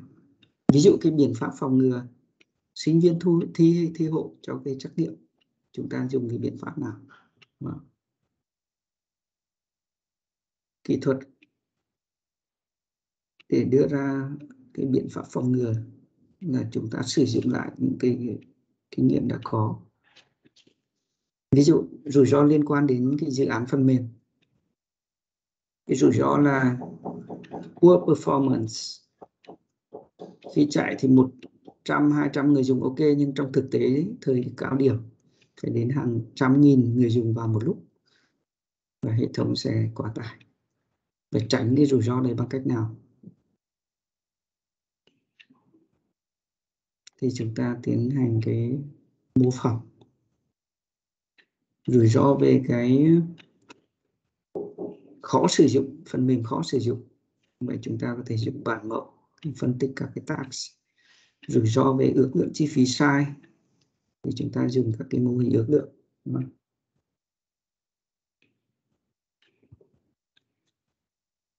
Và sử dụng các cái kinh nghiệm giảm thiểu rủi ro. Ví dụ như giảm giảm thiểu cái ờ, khả năng xảy ra rủi ro. Rồi à, tránh cái rủi ro đấy, giảm thiểu cái cái xác suất, cái khả năng xảy ra của cái hậu quả đấy. Ví dụ như là cái cửa mở khi táo chạy thì nó dẫn đến là hậu quả là người bị rơi ra ngoài và tai nạn tử vong đấy. Thì để giảm thiểu cái khả năng hậu quả là ngã ra ngoài bằng cách nào? Khi cửa mở thì là gì? Chuông báo động sẽ bật à, sẽ được bật. Và khi nghe chuông như vậy thì mọi người sẽ được cảnh báo và sẽ biết là cửa mở. Và sẽ tránh được cái giảm thiểu cái cái khả năng bị ngã ra ngoài. Nhỉ? Vậy là một cái biện pháp. Thêm cái yêu cầu mới.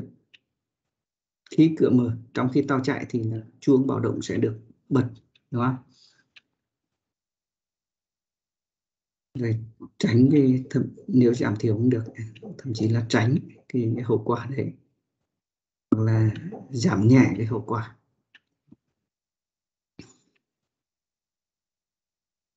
Bây giờ chúng ta có một số cái biện pháp phòng ngừa. Câu hỏi đặt ra là lựa chọn cái biện pháp nào? Thì thường chúng ta sẽ cân nhắc dựa vào cái được và mất khi áp cái cái biện pháp đấy vào biện pháp đấy rất hay nhưng mà rất là đắt đỏ không đủ kinh phí để làm đúng không? Thì cái công thức để chúng ta đánh giá cái cái, cái giá trị cái tính hiệu quả của cái biện pháp phòng ngừa là căn cứ vào hai cái tham số đầu vào là gì? Cái hiệu này là đánh giá cái mức độ hiệu quả làm giảm cái ảnh hưởng của cái rủi ro tức là khi có phòng ngừa vào ấy, thì cái cái ảnh hưởng của rủi ro nó giảm đi rất nhiều. Nghĩa là cái hiệu này nó rất lớn, đúng không? Như vậy hiệu càng lớn càng tốt. Còn cái chi phí càng thấp, càng rẻ, dễ làm thì cái này nó càng bé. Cái này càng nhỏ thì là giá trị của cả cái biểu thức này là sẽ càng lớn tỷ lệ nghịch. Và như vậy tóm lại cái chỉ số này càng lớn thì cái biện pháp phòng ngừa của mình là càng gì? Càng hiệu quả. Đúng không?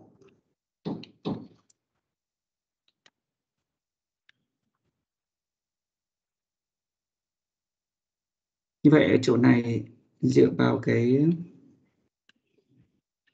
phân tích và đánh giá rủi ro như vậy chúng ta có thể đưa thêm tham số uh, các cái thống số cho cái rủi ro trên cái, gọi là đưa các cái annotation vào trên cái cây rủi ro của chúng ta.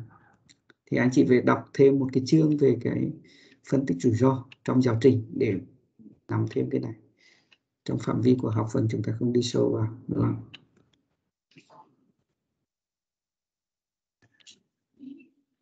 rồi giờ chúng ta chuyển sang một cái kỹ thuật DDP tức là kỹ thuật này do được phát triển bởi cái NASA kỹ thuật này là để ngăn cản, phát hiện các cái sai sót. Và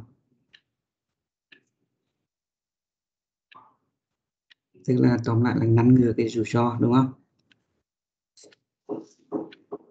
Thì ờ, anh chị nhớ cho cái thuật toán DDP này, đúng không?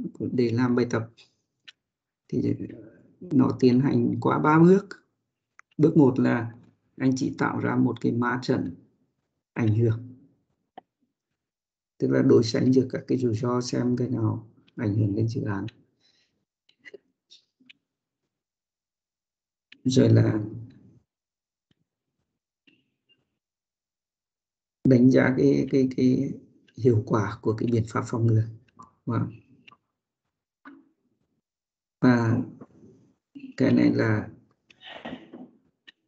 đưa ra cái tương quan giữa cái giảm thiểu rủi ro và cái chi phí cho cái biện pháp phòng ngừa đấy.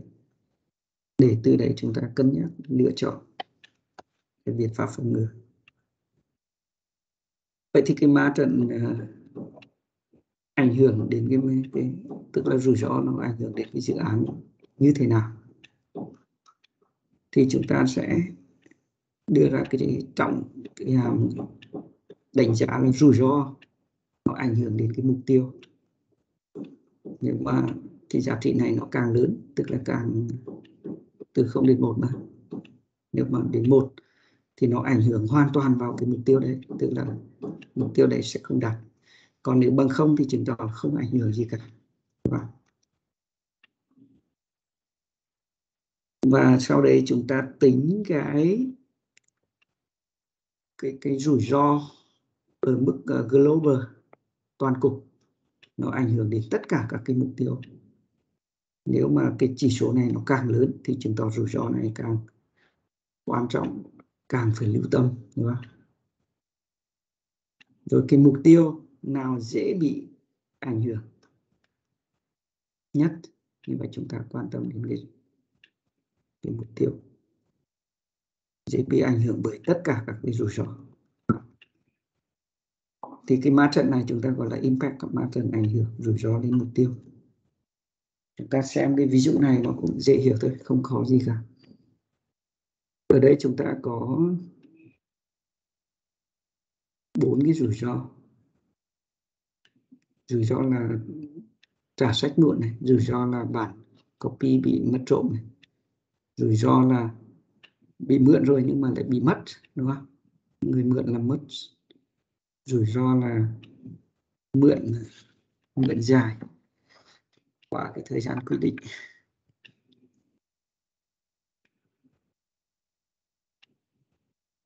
Dạ, em là thầy ạ. ừ. em nói đi em Dạ, bây, bây giờ em đang muốn từ chỗ làm đi về nhà ấy ạ. Tại vì trời thì mưa, lại sắp tối em thì cận.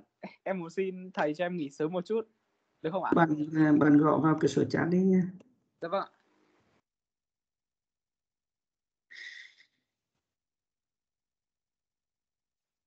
chúng ta ờ, tất nhiên sinh viên năm cuối năm ba này thì dễ mà đi làm ở công ty ấy. nhưng mà buổi nào học thì là chúng ta vẫn phải đặt độ ưu tiên của học lên trước nhé. Nha. Xếp lịch ờ, làm ở công ty thì chúng ta linh hoạt được. Nha. Cho nên tránh cái chuyện là ở công ty rồi đi về học ở công ty rồi đi làm. Được nha. Ờ, đây có bốn cái ờ, rủi ro và các cái mục tiêu bị ảnh hưởng bởi các cái rủi ro này. Bốn mục tiêu ở đây là gì? Là sách copy là luôn sẵn sàng này. Rồi là cái mục tiêu là thư viện cung cấp đầy đủ các đầu sách này, đúng không? Mục tiêu là giảm tải cho cái nhân viên thư viện và mục tiêu là chi phí vận hành là được giảm. Thì ở đây anh chỉ để ý là mục tiêu này là gọi là gì nhỉ? Shop Go này, mục tiêu mềm này, chi phí vận hành giảm này. Nhân viên giảm là cũng Shop Go này. Còn ở bên này là mục tiêu gì? Behavior Go phải lưu ý một tí nhé. Và là với cái mục mỗi cái mục tiêu này nó có gắn các cái trọng số uh, 0.4, 0.3, 0.1, 0.2 này. Thì trọng số này là do chuyên gia miền họ được xác định giúp cho mình đúng không? cái khả năng xảy ra rủi ro này thì cũng do chuyên gia miền cung cấp. Bây giờ chúng ta xác định cái 0.3 0.6 này là như thế nào? Và một bạn à, giúp mình xác định cái công thức tính cái chỗ này cái. Có bạn làm dưới tay à, Bùi Thu Phương nào? Làm thế nào để ra được cái à, cái giá trị 0.3 chỗ này, Thu Phương nhỉ?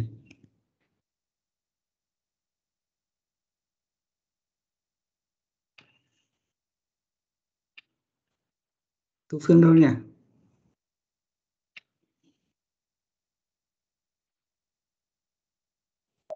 Em đây ạ nhưng mà em hơi mất tập trung nên em cũng không rõ lắm ạ.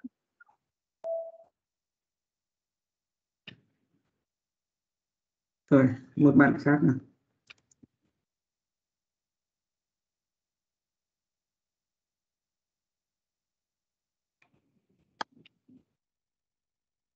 Như vậy chúng ta lấy có bạn nào vote ờ, uh, xung phong này.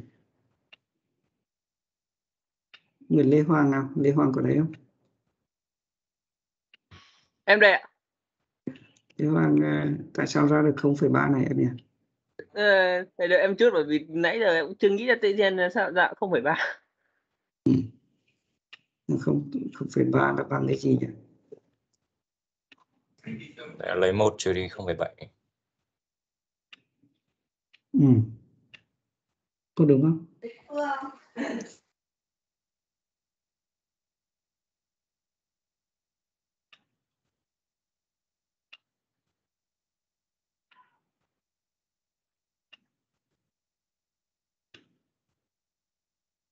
các cái ờ, trọng số này là cùng do chuyên gia miền họ cung cấp cho mình.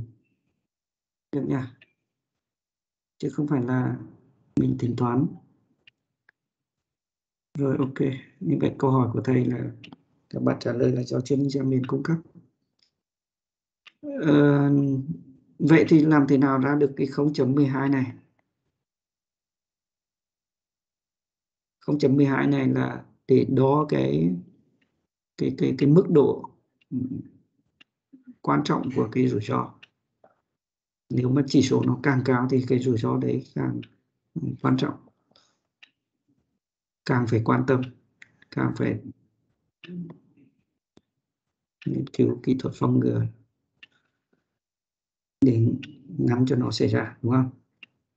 0.12 này dựa vào đó nhỉ? À, xác định như thế nào nhỉ?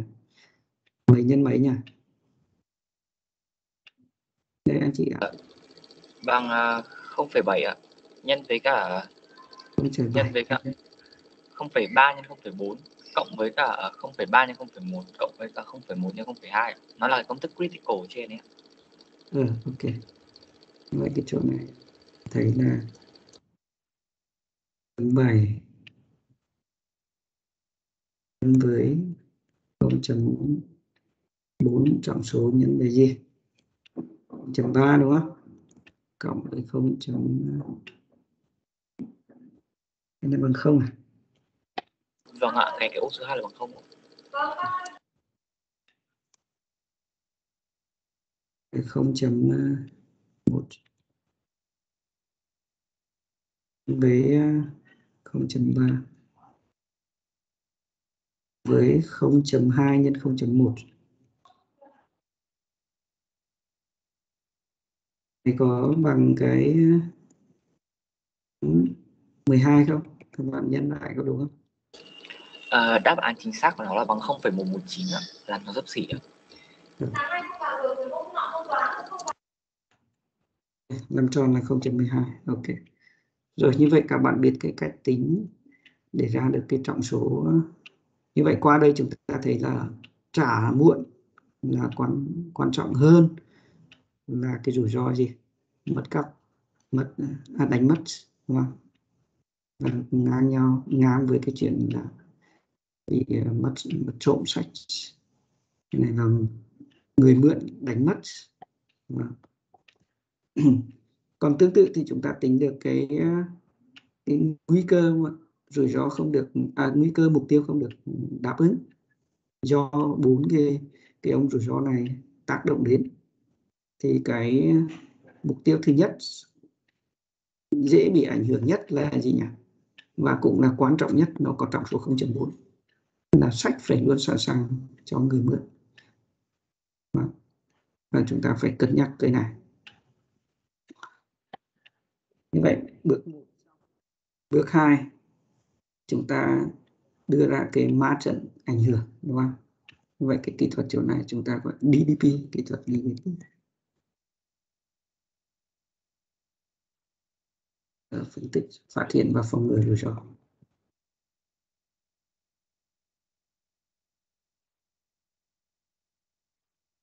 gồm 3 bước.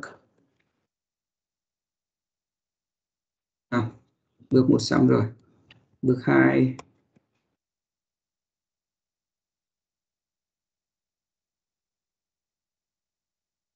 à, chi tiết hóa xây dựng cái Martin.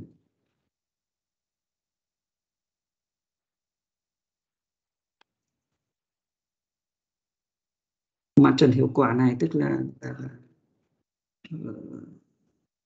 uh,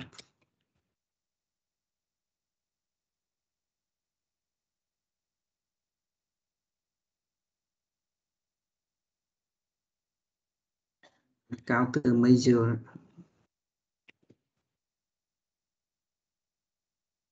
thì tính cái ma trận uh, hiệu quả này chúng ta tính như thế này đây công thức nào tính đây? Như vậy chúng ta sẽ uh, cái biện pháp phòng ngừa này với cái rủi ro này thì nó mang lại cái hiệu quả trong ngưỡng từ 0 đến 1 ta xem nhé. Ở đây qua cái ví dụ này chúng ta có bốn cái rủi ro đây rồi biện pháp phòng ngừa đây chúng ta dùng này gửi email để nhắc cho người mượn khi đến hạn. Rồi ờ, chúng ta đưa cái nộp phí khi làm thẻ nộp tiền và nếu mà bị mất thì sẽ trừ tiền đấy, đúng không rồi là nếu mà ờ, các cái biện pháp, ví dụ như là nếu mà mất uh, mượn quá hạn hoặc là làm mất sách thì là đưa vào cái danh sách blacklist cấm cho mượn và cũng như không cho đăng ký nữa đúng không? Và biện pháp chống trộn đó, ở đây là chúng ta dùng các cái các cái cái chip lên các cái sách ấy, các cái thiết bị uh, chống trộm đấy đúng không? Lên đầu sách. Thì đây là các cái biện pháp phòng ngừa rủi ro. Bây giờ chúng ta tính cái hiệu quả của các cái biện pháp này lên các cái rủi ro. Ví dụ gửi thư nhắc, gửi email nhắc thì rất là hiệu quả với là rủi ro là trả sách muộn 0.7 không có tác dụng gì với nhận trộm cả bằng không? Đúng không?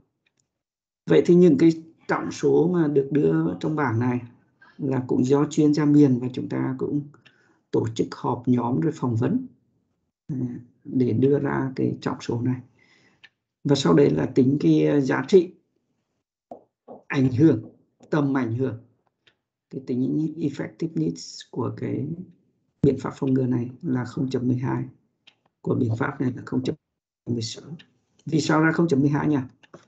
Công thức tính như thế nào? Này 0.7 nhân 0.7 à? 0.3 0.1 nhân 0.1 cộng với 0.6 nhân 0.5 đúng không? Có ra đúng thế không? 0.3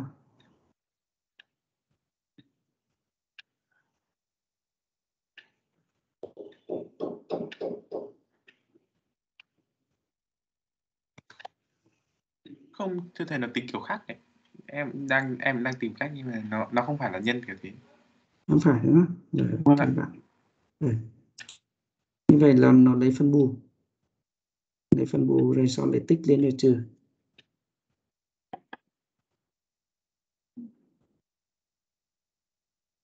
Ừ.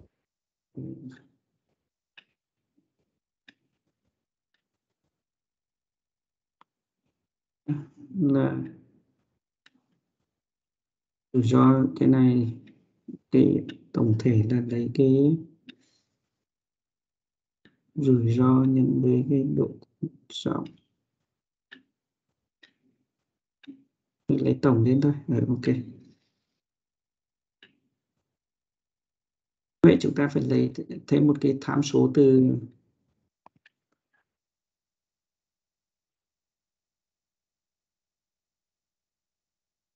tham số là độ Được. từ mặt trận nhiệt trận rủi cho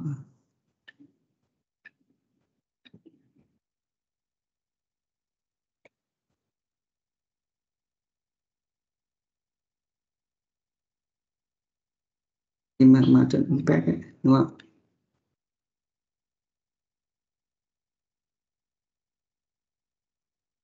Thế nhỉ ví dụ ở cái ma trận trước chúng ta tính được cái uh, list return này có độ ảnh hưởng bao nhiêu? Chỉ tính đây đây nhớ cho tôi cái 0.12 0.12 0.4 0.6 đúng không? 012 012 004 06 như vậy chúng ta sẽ tính như thế nào nhỉ? Ai này nhân với bao nhiêu?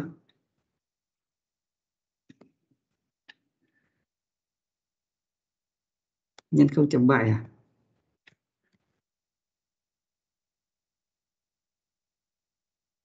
Cộng với 0 12 là cái cái độ quan trọng của cái rủi ro, rủi ro này.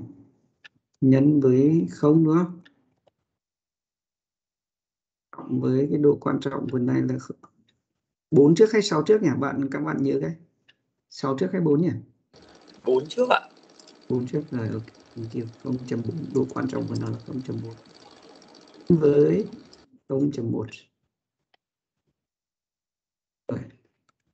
cộng với 0.6 0 chấm gì? 0.6 bao nhiêu? Các bạn nhân cho cái.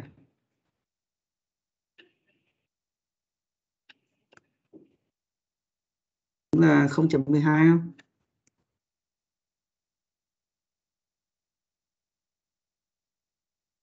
Rồi các bạn check lại nhé như vậy là cái này phải lấy. Em nó nó lại ra là 0.484 á. Nó không ra 0.12 thế vâng ạ.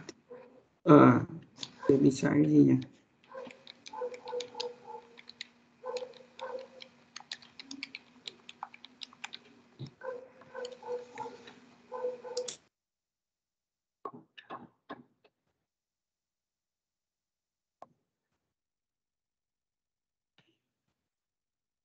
à ờ, ờ, chỗ này thêm số không nữa em ơi.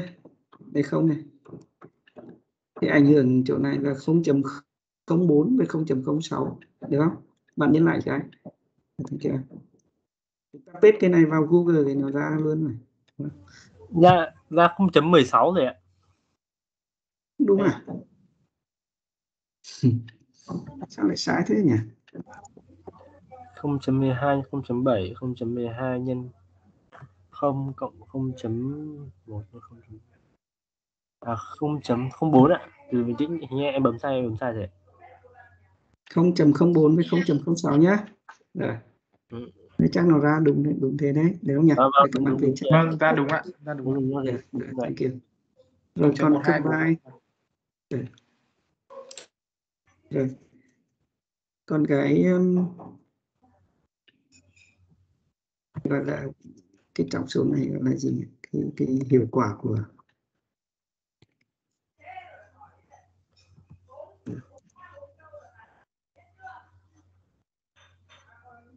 à, à, à, à.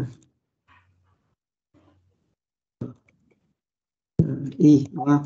Một cái biện pháp phòng ngừa y nào đấy thì có tính hiệu quả là như vậy. Còn hiệu quả à, đây, cái này là nên là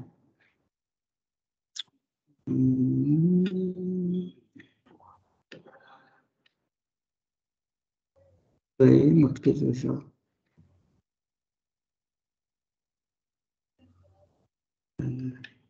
tổng cái hiệu quả tổng cái hiệu quả hiệu quả của cái gì?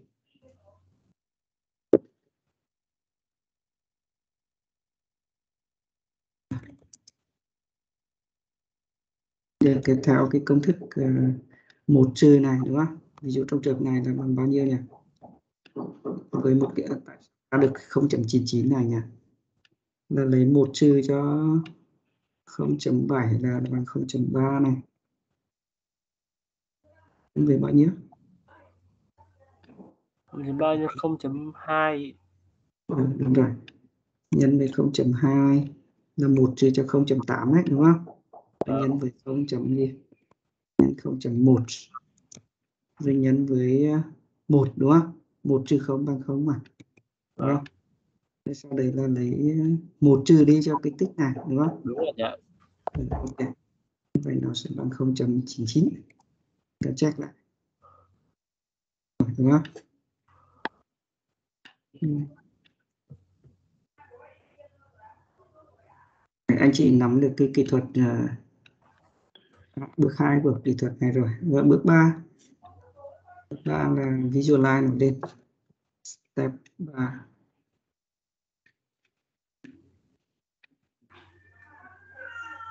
như vậy là step 3 thì sẽ đưa vào cái chi phí. Ờ, là diễn thực quan.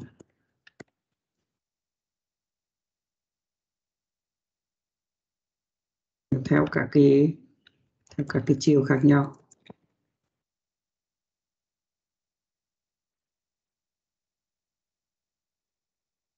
Để mà làm cơ sở để lựa chọn gì lựa chọn cái, lựa chọn cái phương án. Người. Học sự cân nhắc giữa cái chi phí bỏ ra và và cái hiệu quả mang lại. Là cái nội dung của kỹ thuật này. Và trong đấy thì lưu ý một cái chi tiết là cái chi phí uh, chi phí của cái các cái biện pháp phòng ngừa. Ấy, là do cái được cung cấp bởi cái gì được ừ từ cái, cái chuyên gia miền đúng không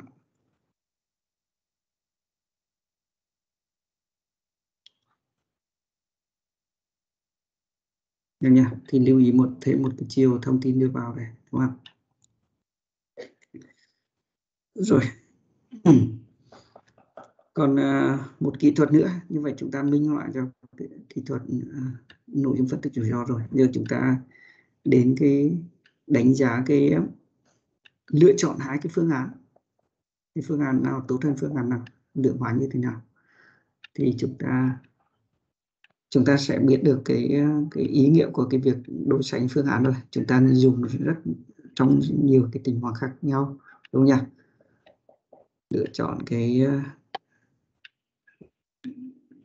cách tổ chức cái system to be, rồi là lựa chọn cái phương án phòng ngừa nào tốt hơn và tức là đối sánh giữa các phương án.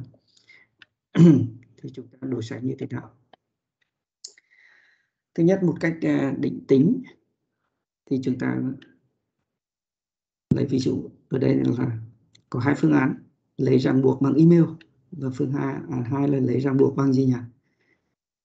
Bằng cái à, phần mềm lập lịch của mỗi người tham gia đấy. Mỗi ông có Google Calendar.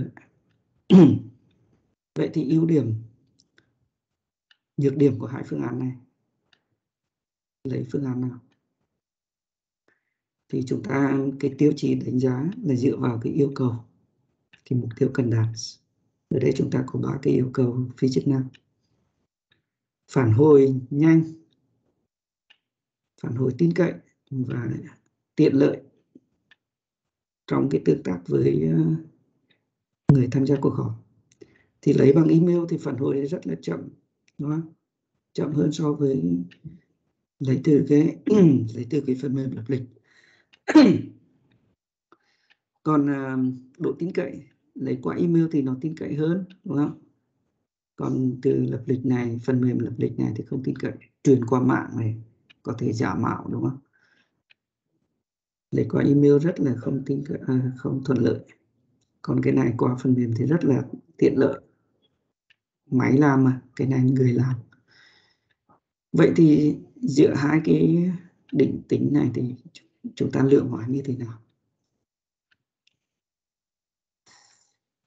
Thì chúng ta sẽ định tính bằng cách đưa vào trọng trọng số vào, đúng không?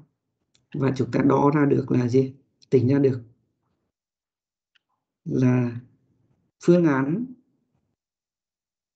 lấy theo email thì chúng ta sẽ chấm điểm cho nó là 0.74 lấy ràng buộc theo cái phần mềm ờ, lập lịch là 0. bao nhiêu 55 như vậy là chúng ta sẽ chấm điểm cho cái này cao hơn chúng ta lấy cái phương án này Đó. với ở đây cái tiêu chí đánh giá là dựa vào cái yêu cầu này Đó. thì uh, các bạn về đang đang làm cái phản biện cái cái bài tập lớn của các các nhóm ấy. Thì bản chất là chúng ta cũng đưa ra cái cái, cái đánh giá định tính định lượng đúng không? cho các nhóm. Chúng ta xây dựng cái bảng tiêu chí.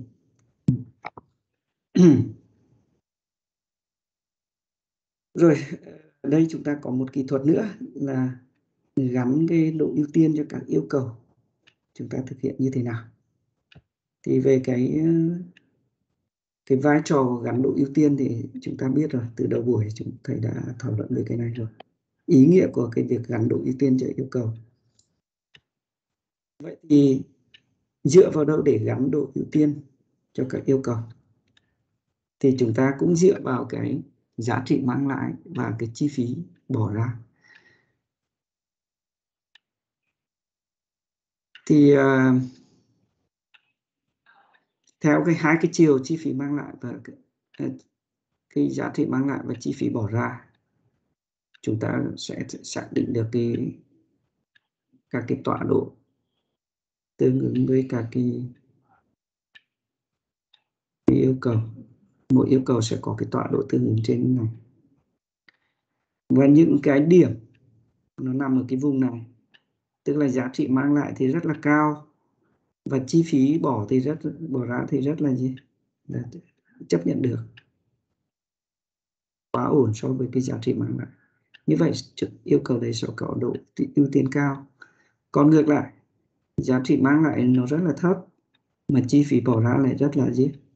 Cao. Thì có độ ưu tiên thấp hơn. Còn một cái vùng ở giữa, những cái điểm ở giữa này chi phí và giá cả mang lại cũng ở mức cao tương đương thì có độ ưu tiên ở mức thấp hơn trung bình. Đúng nhỉ? Thì anh chị uh, quy cái việc gắn độ ưu tiên cho các yêu cầu. Ở đây chúng ta có 5 cái yêu cầu. Quy cái việc gắn độ ưu tiên cho 5 yêu cầu này về việc là xác định tọa độ của các cái cái yêu cầu này trên cái, cái nhỉ? Xác định tọa độ cho từng cái yêu cầu trên này. Và nó rơi vào cái miền nào, cái vùng nào thì ứng với độ ưu tiên tương được nhỉ? Và lưu ý là khi phân độ ưu tiên ấy cho các yêu cầu thì chúng ta cũng phân theo các cái mức ờ, đừng có mịn quá. Ví dụ phân ra 100 mức thì nó mịn quá rồi. Cho nên mức khoảng dưới 10 thôi, đúng không? Trong tầm kiểm soát thôi đến mức, mức 5 mức 7 là cũng nhiều rồi. Vâng. Và trong trường này là ví dụ minh họa cho ba mức và vâng. mức cao mức trung bình và mức thấp. Rồi anh chị về đọc ừ, để xem cái cách tính tọa độ của các cái, cái, cái yêu cầu này. Bây giờ cái cách tính ấy, thì là cho chiều giá trị nó cũng giống như tương ừ, tương tự như là cách tính chiều chi phí ở đây chúng ta minh họa cho cái cách tính tính theo chiều giá trị nhé. Thì chúng ta tính cho chiều giá trị trước rồi sau lại tính cho chiều chi phí tương tự. Với mỗi chiều đấy trục x trục y đấy tính cho trục x trước. Chúng ta so sánh à, lập cái bảng mã trận so sánh. Và sau đấy là tính cái giá trị tọa độ tương ứng. Trận so sánh thì anh chị ờ, đối sánh từng cái yêu cầu và xem yêu cầu nào quan trọng hơn yêu cầu nào. Tức là chỗ này chúng ta phải so sánh được. À, ví dụ ở đây chúng ta còn 5 cái yêu cầu rồi đúng không? Và ở đây chúng ta gắn là giá trị 1357 5, 9, 7. cái này 9 nói lên cái gì? Nói lên yêu cầu là ngày lập lịch ờ, tạo ra ngày lập lịch tối đa. Thì cái chức năng này quan trọng hơn cái yêu cầu ờ, uh, multiple hỗ trợ đa ngôn ngữ này quan trọng hơn rất nhiều. Chúng ta cho trọng số là 9 đó. Trọng số này 5 nói lên là cái yêu cầu này là gì? Quan trọng hơn ở cái mức 5 vừa phải thôi. Lớn hơn một là càng quan trọng hơn. Nhỉ anh chị ờ, đọc câu hỏi vậy thì một ba năm bảy chín này xác định như thế nào thì cái này cũng do chuyên gia miền xác định. Chúng ta áp dụng cái kỹ thuật chế ờ, họp nhóm về phỏng vấn, điều tra để đưa ra cái trọng số. Sau đấy là có trọng số rồi thì chúng ta chuẩn hóa chuyển uh, lấy trung bình đúng không ạ? Của các cái giá trị này chuẩn hóa về. Và sau đấy là làm thế nào ra được 0.49 nhỉ? 0.49 thì chúng ta lấy tổng của tất cả cái này và chia trung bình để ra 0.49 như vậy ra được cái trị 0.49 0.28 0.13 này thì chính là giá trị à, tọa độ gì nhỉ? Để trục x hay trục y.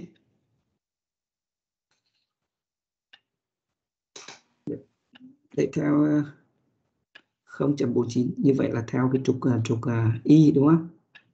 Ờ, POD là 0.49 thì nó dưới 50 một tí, được không? HPL là bằng bao nhiêu? Tầm này khoảng 27 không? 27 28 gì? HPL là ứng với yêu cầu này. Nó ra bao nhiêu? 0.28 đúng không? P này là 0.13 0.13 PCR này 0.13 là tầm khoảng này đúng rồi 13 này. Đúng không? Còn cái này khoảng tầm dưới 5 cái này tầm khoảng dưới 10 trên 5 MA MA bao nhiêu? Multiple MA bao nhiêu? 0.07 dưới 7 là trên 5 dưới 7 là tầm này đúng không? Đó. Như vậy anh chỉ xác định được uh, giá trị y cho nắm cái yêu cầu này rồi. Được nhỉ? Rồi tương tự chúng ta tính cho giá trị x cho năm yêu cầu và xác định được tọa độ của nó. Gắn được độ ưu tiên. Được không? Thì uh, như vậy trong bài này thì đã minh họa cho anh chị các cái kỹ thuật để lượng hóa đúng không uh, cho các cái tình huống uh, quản lý rủi ro đối sánh các phương án gắn độ ưu tiên cho yêu cầu và cái kỹ thuật xác định cái gì uh, mâu thuẫn quản lý mâu thuẫn đúng không thì uh, chúng ta có một số cái uh, kỹ thuật uh, lượng hóa này thì uh, chúng ta vận dụng vào cái bài tập lớn của mình đúng không? coi như là ví dụ minh họa luôn anh chị có câu hỏi gì nữa không liên quan đến nội dung hôm nay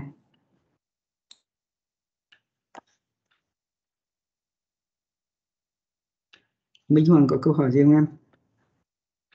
Ờ, thưa thầy là nếu như mà trong cái bài tập lớn của mình thì mình Ừ. có cần phải làm cái bảng đánh giá về cái các cái yêu cầu này không ạ?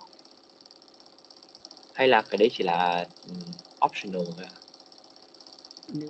vào bài tập lớn ấy Vâng. thì uh, các cái các cái phát biểu là, là chúng ta phải, phải cái tập phát biểu là chúng ta phải xác định đủ đầy đủ hết chứ đúng nhỉ? Vâng, phải có đầy đủ ạ. Ừ.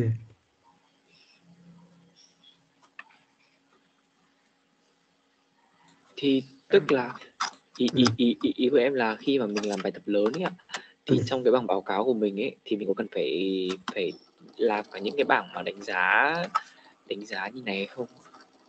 Có chứ, có chứ. Có. Ừ. Vâng ạ. Như vậy ừ, ok. Như vậy là chúng ta có cái, uh, cái phân giảm mục tiêu này và và xác định được các cái cái, cái phát biểu đấy đúng không? Cái phát biểu goals chính là các cái phát biểu này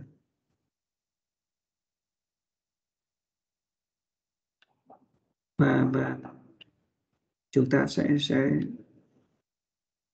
tất nhiên điều uh, à, tập trung ở cái mức requirement thôi đúng không? Requirements.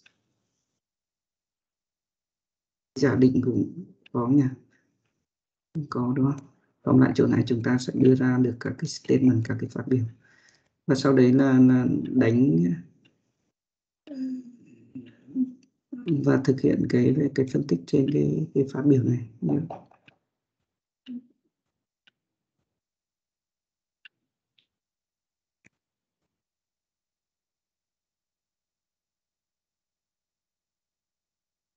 Đây là ờ,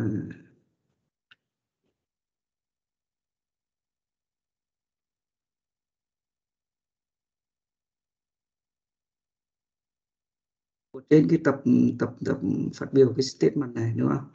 Tập của chúng ta đây là phải đưa vào hết đấy, đúng không? Tất nhiên là các cái yêu cầu nó không liên quan gì nhau thì chúng ta không không cần phải đổi sánh gì cả nha, anh chị rồi à, gắn độ ưu tiên đúng không rồi này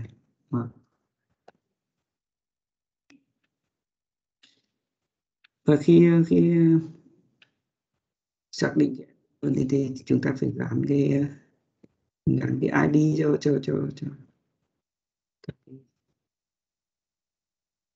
Gắn chỉ số cho nó ví dụ requirement một thuộc nhóm một nhóm hai chúng ta đấy, có thể hoàn toàn được cái phân cấp ừ, statement này vào.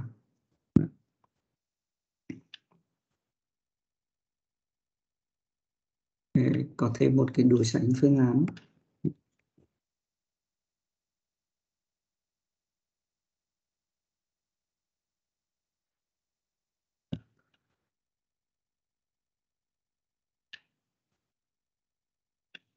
Với cái chỗ này gọi chung là đánh giá yêu cầu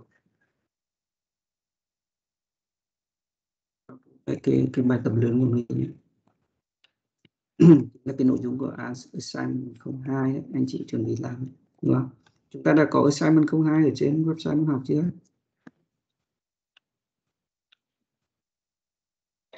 Chúng ta sẽ check lại nhé. Thì uh, coi như là chuyển sang cái phần đánh giá yêu cầu đúng không nhỉ?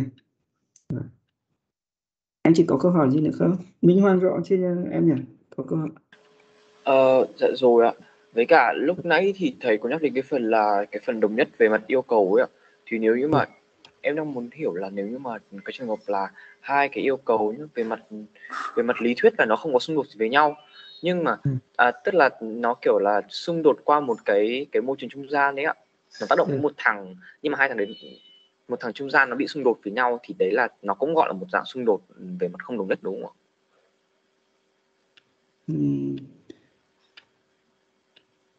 Tức là ý của em là xung đột yếu á hay là À, đây ạ, tức là ý của em là ví dụ như là có một thằng lớp A nó có một dạng thuộc tính, thằng lớp C có một dạng thuộc tính nhưng mà thằng lớp B á, nó sử dụng thuộc tính của cả hai thằng A và C nhưng mà khi mà sử dụng như thế thì nó sẽ bị xung đột tại thằng B thì cái đấy có đấy có phải là một dạng xung đột không?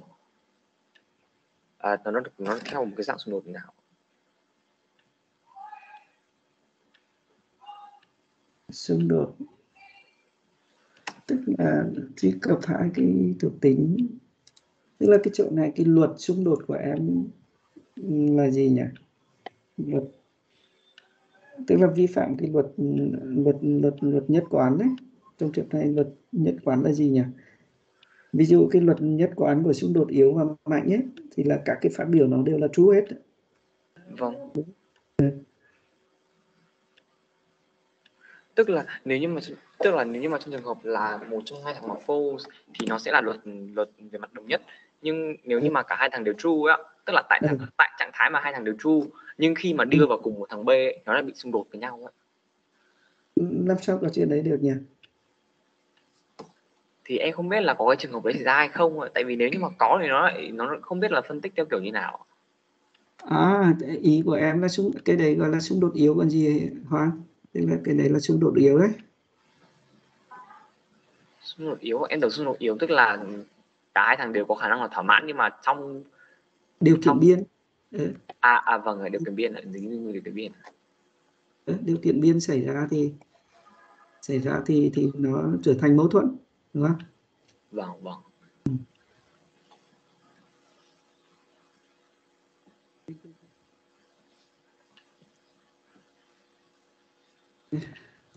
thank you Hoàng. Ờ, có bạn nào có câu hỏi Ngọc Thị?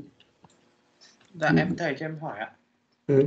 Về cái bài phản biện của các ờ, cho các nhóm đấy ạ thì như em biết là cái những cái đợt học công nghệ phần mềm thì bọn em chỉ phản biện về thứ nhất là về cách trình bày vậy cách trình bày tài liệu rồi về phạm vi xem là có những cái gì ổn không thì những cái đấy ra thì còn những thì cần những cái gì nữa Ừ. ví dụ như là em đặt câu hỏi là ví dụ là ờ, ví dụ cái kỹ thuật một cái yêu cầu là gì nhỉ yêu cầu là, là cung cấp được cái, cái bức tranh hay là một cái hay mô tả ờ, dễ hiểu chính xác về cái cái hệ thống hiện thời đúng không? Vâng em đọc qua cái mô tả của hệ thống thì đã đã, đã hiểu được chưa đúng không? Cái này À, vâng. ví dụ, đấy ví dụ thế Tức là Dạ, dạ vâng. Vâng vâng em hiểu ạ. hay là, ờ, bạn đưa ra cái minh chứng ờ, kỹ thuật phỏng vấn chẳng hạn thì bạn nói là tôi dùng kỹ thuật phỏng vấn nhưng mà cái minh chứng của bạn là chưa rõ ràng ờ, chưa thể hiện được là bạn đã dùng kỹ thuật phỏng vấn đúng nhỉ các cái câu Vâng. hỏi ừ. đấy chúng ta cần phải xem cái, Dạ cái, vâng cái. Vâng. ờ, ok chắc cũng cường hình dung rồi đúng không? Dạ vâng. Ừ. nên là nhiều khi là thể hiện cái cái knowledge cái kiến thức khi bạn tìm hiểu cái miền nghiệp vụ đấy. Ờ, một số cái kiến thức về miền đấy là bạn nắm được chứng tỏ thể hiện ờ, qua cái tài liệu của bạn thể hiện là bạn nắm rất vững về cái nghiệp vụ của cái miền đấy rồi. Ừ, là một tiêu chí đánh giá. Ok. Cố gắng đưa ra cái bảng tiêu chí đấy để mà, à, mà, cho điểm nó chuẩn hơn. Chứ một, một số bạn nên đưa, ra comment nhanh là tài liệu nhìn rất là đẹp hình vẽ rất mượt mà không có lỗi gì cả. 9 điểm. Chấm thế thì, thì không ổn nhá. Người ta phải có cơ sở. Như chấm hoa hậu. Đó. Việt Long có câu hỏi gì không em? Dạ không thầy ạ. rồi ok Cương Hiên có câu hỏi em